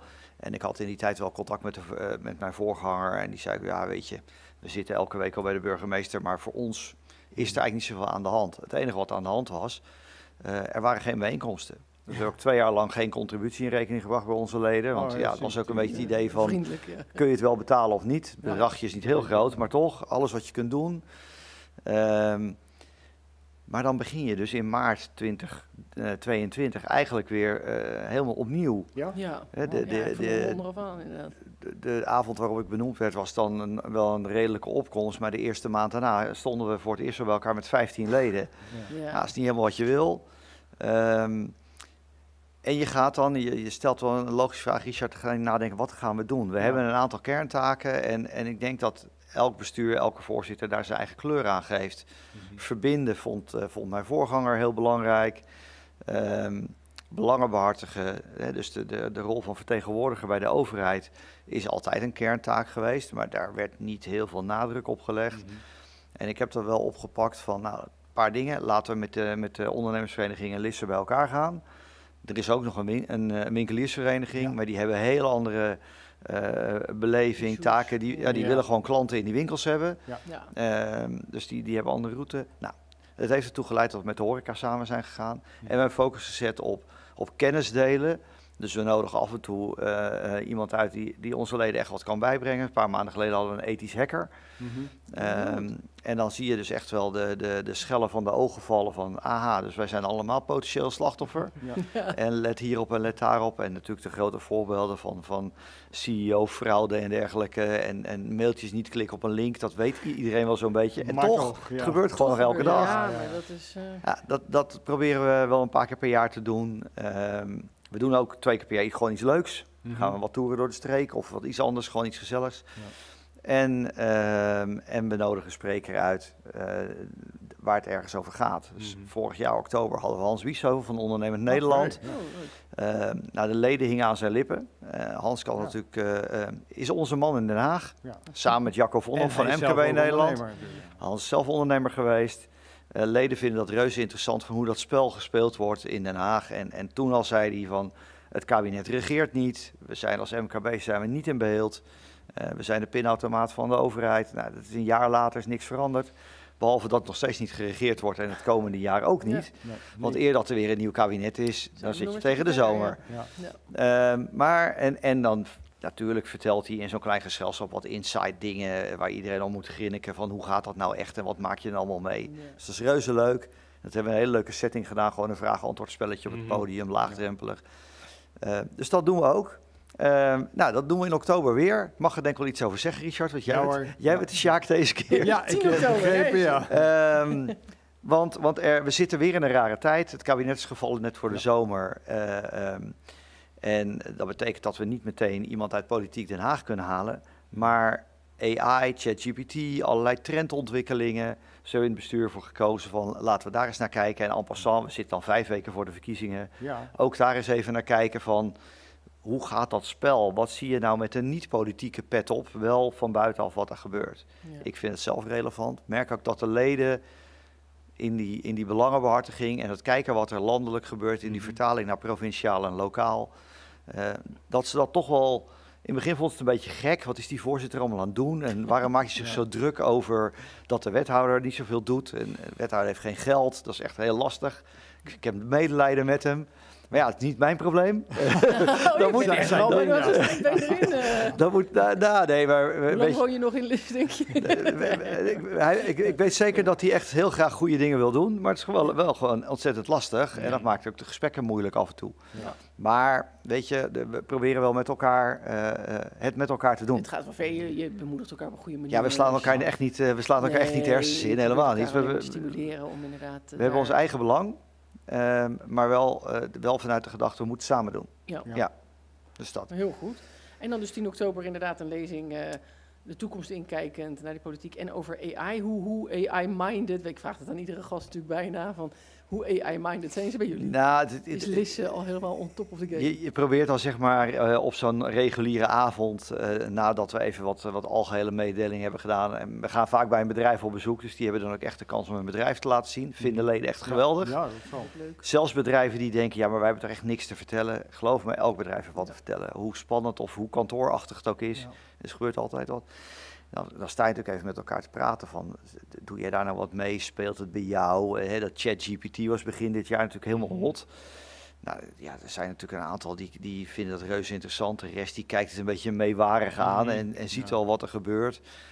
Maar vergis je niet, ehm, het overgrote deel van het bedrijfsleven van ons land is MKB. En in die MKB-bedrijven gebeuren allerlei geweldige dingen. En dat denken wij dan van niet. Ja. Maar we zijn in de regio bezig met een thema eh, over kennisintensieve maakindustrie. Ja. En toen ik die term voor de eerste keer hoorde, dacht ik, ja, kennisintensieve maakindustrie. Mhm. Oké, dat is Estek in Noordwijk. En, en wat daar En omheen zit. ja. En daar gaat het dus inderdaad ook over. En dan blijkt dus dat bij mij in Lisse zitten toeleveranciers aan Estek. Er zitten innovatieve bedrijven die rondom de, de land- en tuinbouw, de bollenteelt, echt de meest fantastische Ja. Machines ontwerpen. Eh, eh, zi- zi- zit een, nou, een helemaal niet zo bekend bedrijf die de meest geweldige bedrijfshallen bouwt. Mhm. Volledig innovatief, technisch gestuurd, dat, eh, op duurzaamheid. Dan denk ik, oh wacht even. Er zitten dus allerlei parels en juweeltjes in die streek, die, die, die slaan niet op de trom. Nee. Die doen gewoon hun ding, zijn succesvol winstgevende bedrijven. En ehm, dat is er dus wel degelijk. Dus we hebben hier, nou, we zijn geen economisch powerhouse in, in de Bollenstreek. Maar we hebben hier prachtige bedrijven die echt mooie dingen doen. En eh, voor werkgelegenheid uiteraard zorgen. Ja, Ja, mooi. Nou, ik ben heel, heel benieuwd, Richard. Ja. Weet je wel een beetje wat je Nou, ik ben, we- we- laten we de leden maar gaan bevragen wat ze met AI doen. ja. En eh, eh, in de horeca in Lisse ben ik bijvoorbeeld ook nog geen robotjes tegengekomen die je Nee. gerecht komen halen en Nee, brengen. maar, eh, Dus ze bestaan wel. Ja, Ja, het ja, kan ja. wel, maar Dus, ja. dus- maar we gaan het wel beleven. En eh, ja, ik, ik nodig je graag uit, doe je verhaal. Maar vraag ook aan de leden van wat doen jullie er nou aan? Ja, Ja. inderdaad.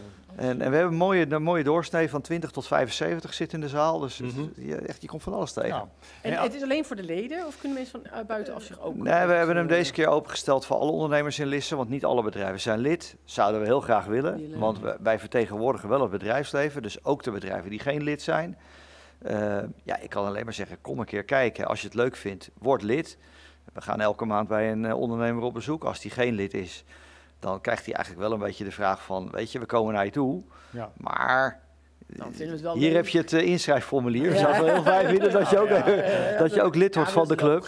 Want we vertegenwoordigen alle belangen. Ja, Ja. nee, dat is, is niet meer dan logisch. En Leuk. het is dus eh, 10 oktober. Dinsdag 10 oktober eh, doen we in restaurant De Engel. Dat is een grote zalenlocatie eh, in, eh, in Lisse. Eh, is daar prima voor uitgerust. Eh, wij organiseren wat te eten. Dat doen we bij elke ondernemersavond. Dat niemand eh, na een half uur moet wegrennen naar de aardappelen. Ja. Want, want dan komt die verbindende rol weer in beeld. We willen graag dat onze leden ook met elkaar in gesprek gaan. Eh, want je gaat pas zaken doen als je elkaar kent. Ja, nee, dat En is daar begint het mee. Hey, en een aanhaal, ik ken jou van Kienadvies natuurlijk, maar dat is jouw eigen, Nog steeds, eh, jouw ja. eigen eh, bedrijf. Waar, waar kunnen mensen hier, eh, als ze mee willen doen, kijken? Is dat ondernemend Lisse? Ondernemendlisse.nl. Ja, het is echt heel Ja. simpel. Hoe We hebben ook meteen die naam veranderd begin dit jaar. Ja, dat is waar. Het, het had voorheen een, een, een iets te veel sigaren- en whiskynaam. eh met, met Business Club. En eh, meer met de gedachte, oké, we, we, we zijn op zich nog steeds dezelfde vereniging, maar wel twee clubs samen. Eh, We wilden een actieve naam hebben, dus ondernemend. Eh, nou, je hebt eh, ondernemend Hillegom, je hebt de ondernemend Hoofddorp. Dus wij vonden ook ondernemend Lisse eigenlijk wel een logische naam. Dat, dat straalt iets uit van eh, we stropen de mouwen op en we Ja. gaan aan de slag. En als de, de kijkende ondernemers nou net buiten de gemeentegrens van Lisse wonen en werken, mogen ze dan ook eh, aanhaken? Ja, we doen, we doen niet heel moeilijk over. We hebben ook leden van buitenlissen, dus eh, dat is wel prima. Maar onze belangenbehartiging is primair natuurlijk op de gemeente Ja, gericht. natuurlijk. Daarnaast in bedrijfsleven Bollenstreek doen we dat regionaal. Eh, dus wij zijn met onze club dit jaar aangesloten bij, eh, bij MKB Nederland en bij ONL, omdat Oh, we dat heel belangrijk Oh, heel vinden. mooi, Juist om die lijn te hebben naar Politiek Den Haag. We zijn ook bezig om Kamerleden of wellicht ook bewindslieden naar Lisse te halen. Of omgekeerd om ondernemers mee te nemen naar het ondernemershuis. de Eerste Kamer die je kan. Ja, hij, hij is net, hij- de, de vogel is net gevlogen. Nou, Ehm, Nee, maar de, de- dat, de- kijk, de komende zes weken zul je Kamerleden eh, eh, door het hele land eh, zieltjes zien winnen. En eh, is wellicht dit- komen ze ook in onze regio. Ik ben reuze benieuwd. moment te zeggen, als je je wil profileren, moet je We hebben wel wat wensen. Ja, ja, precies. Nee, want is dit nog een periode dat je denkt, nou nu kunnen we in ieder geval ergens voor lobbyen om te kijken of ze iets mee kunnen nemen in een programma, of heeft dat helemaal geen zin? eh? Nou, kijk, we hebben natuurlijk wel een aantal dingen die, die, die voor het MKB echt reuze belangrijk zijn. Toevallig net wel door de Tweede Kamer heen dat eh, eh, de afbetalingsregeling van corona-uitstel, die is gelukkig nog verlengd. Dat was echt een groot probleem voor 60.000 bedrijven die terug hadden moeten betalen. Eh, we vinden ook dat gezonde bedrijven, die, die, die moet je helpen. En als het niet gezond meer is, Mhm. dan is het heel vervelend. Maar dan heeft dat ook een reden. Dus goed dat dat beleid doorgezet Dat wordt. is eh, voorjaar eh, 2024 geloof ik. Hè? In ieder geval nog tot het voorjaar, mogelijk nog een jaar langer. Ah, een ander echt heel groot probleem, dat is het instellen van milieuzones, wat al in 29 gemeenten gebeurt. In Lisse nog niet, in de Bollesteek is het nog niet gedaan. Maar wij zitten hier wel in de regio met het grootste aantal procentueel eh, busjes. Ja. Van de, de, de bakker, de slager, de loodgieter, de timmerman, ehm, de glaszetter. En daar sprak ik er vorige week een van. Die zei, ja, het is het probleem van de klant. Zei, ja, dat kun je wel zeggen. Maar als jij, jij- jij kunt niet de last mile op een elektrische Nee. bakfiets een raam meenemen en je stopverf Nee, zo werkt eh, in het centrum van Amsterdam dat gaan doen. Dus dat, dat werkt echt niet. En die elektrische bus die kost 2,5 keer zoveel als een dieselbusje. Ja, dus en dan, dan lees je eh, ook verhalen dat die dieselbussen, eh, euro 6, euro 7, ja, die zijn echt schoner dan, dan de elektrische bus. Alleen het wordt gemeten op, er mag geen uitlaatgas uitkomen. Ja, dat is een ingewikkelde. Dat zijn lastige dingen inderdaad. Nou, ik hoor het al, er is genoeg... eh, genoeg Nou ja, hier praten we ook mee eh, eh, over met, doen. met onze partners in Den Haag. Ja, Heel ja goed. zeker. Nou, goed dat jullie dat Ja, doen. zeker. eh. Echt nodig. helaas, we moeten gaan afronden, want we zitten echt, echt aan de tijd. Nou, we zien jullie 10 Maar oktober. Je ziet ons Nou 10 ja. oktober en we gaan vast nog een keer verder praten. Want ik vind het wel allemaal eh, heel goed om te weten. En ik denk zeker voor mensen in Lisse is het heel erg Mhm, ja. goed om te weten. We Wij eind- zijn er ja, weer, op de we 14 zijn eh, oktober. 14 oktober, die zaterdag. En ik heb eh, al even een kleine vooruitblik naar die uitzending. Want dan krijgen wij heel apart eh, de VVV van Breda op bezoek. En in, de, in de persoon van Hildegard Assins. Ehm, en zij geeft leiding aan die VVV daar. Maar niet heel gewoon aan de VVV. Ze zijn namelijk bezig met het hele ja, innovatieproces als het ware. Van hoe kun je met die VVV's ehm, als organisatie omgaan. En daar komt ze over vertellen. Dan ben ik wel benieuwd eh, hoe ver ze zijn en wat hun plannen zijn. En of ze inderdaad niet in de van A naar B hebben uitgezet. Ja, Hè? nou inderdaad. Zoals maar- Ronald Bos hier aan tafel Ja, vertelde. dat- daar gaan we niet Nou, voor, Daar, daar gaan we, daar gaan we gewoon eens bevragen Ja. op de 14e Inderdaad. oktober 2023. Zouden we het heel fijn vinden als u weer kijkt. Wilt u zelf aanschuiven aan tafel? Schroom niet. En eh, benader ons. Dat kan het beste, Richard, via... Ja, eh tv.trendwatcher.com. Doe dat maar via tv.trendwatcher.com. En in de tussenliggende tijd tussen nu en eh, 14 oktober zijn we natuurlijk ook altijd te vinden voor eh, mooie lezingen als je daar iets mee zou willen. Of je denkt, nou we gaan dat boek eh, van die eh jongelui eventjes eh, bestuderen. Kan En- allemaal. En een uitzending op locatie, dat wilde ik ook nog echt Oh ja, zeggen. leuk, Daar hebben we ja. er nu verschillende van. Eh, dat kan ook, ik zeg, ik wil voor mijn eigen bedrijf gewoon een, eh, tijdens een event of misschien gewoon met alle stakeholders bij mijzelf in mijn eigen bedrijf een uitzending. Het kan, we komen met alle apparatuur naar u toe en eh, maken helemaal op maat een uitzending met iedereen die u aan tafel wilt hebben. Dus dat is ook een van de mogelijkheden, maar in ieder geval tot 14 oktober hier weer in Huis Terduin vanuit Noordwijk. Heel erg bedankt voor het kijken en tot dan. Tot dan.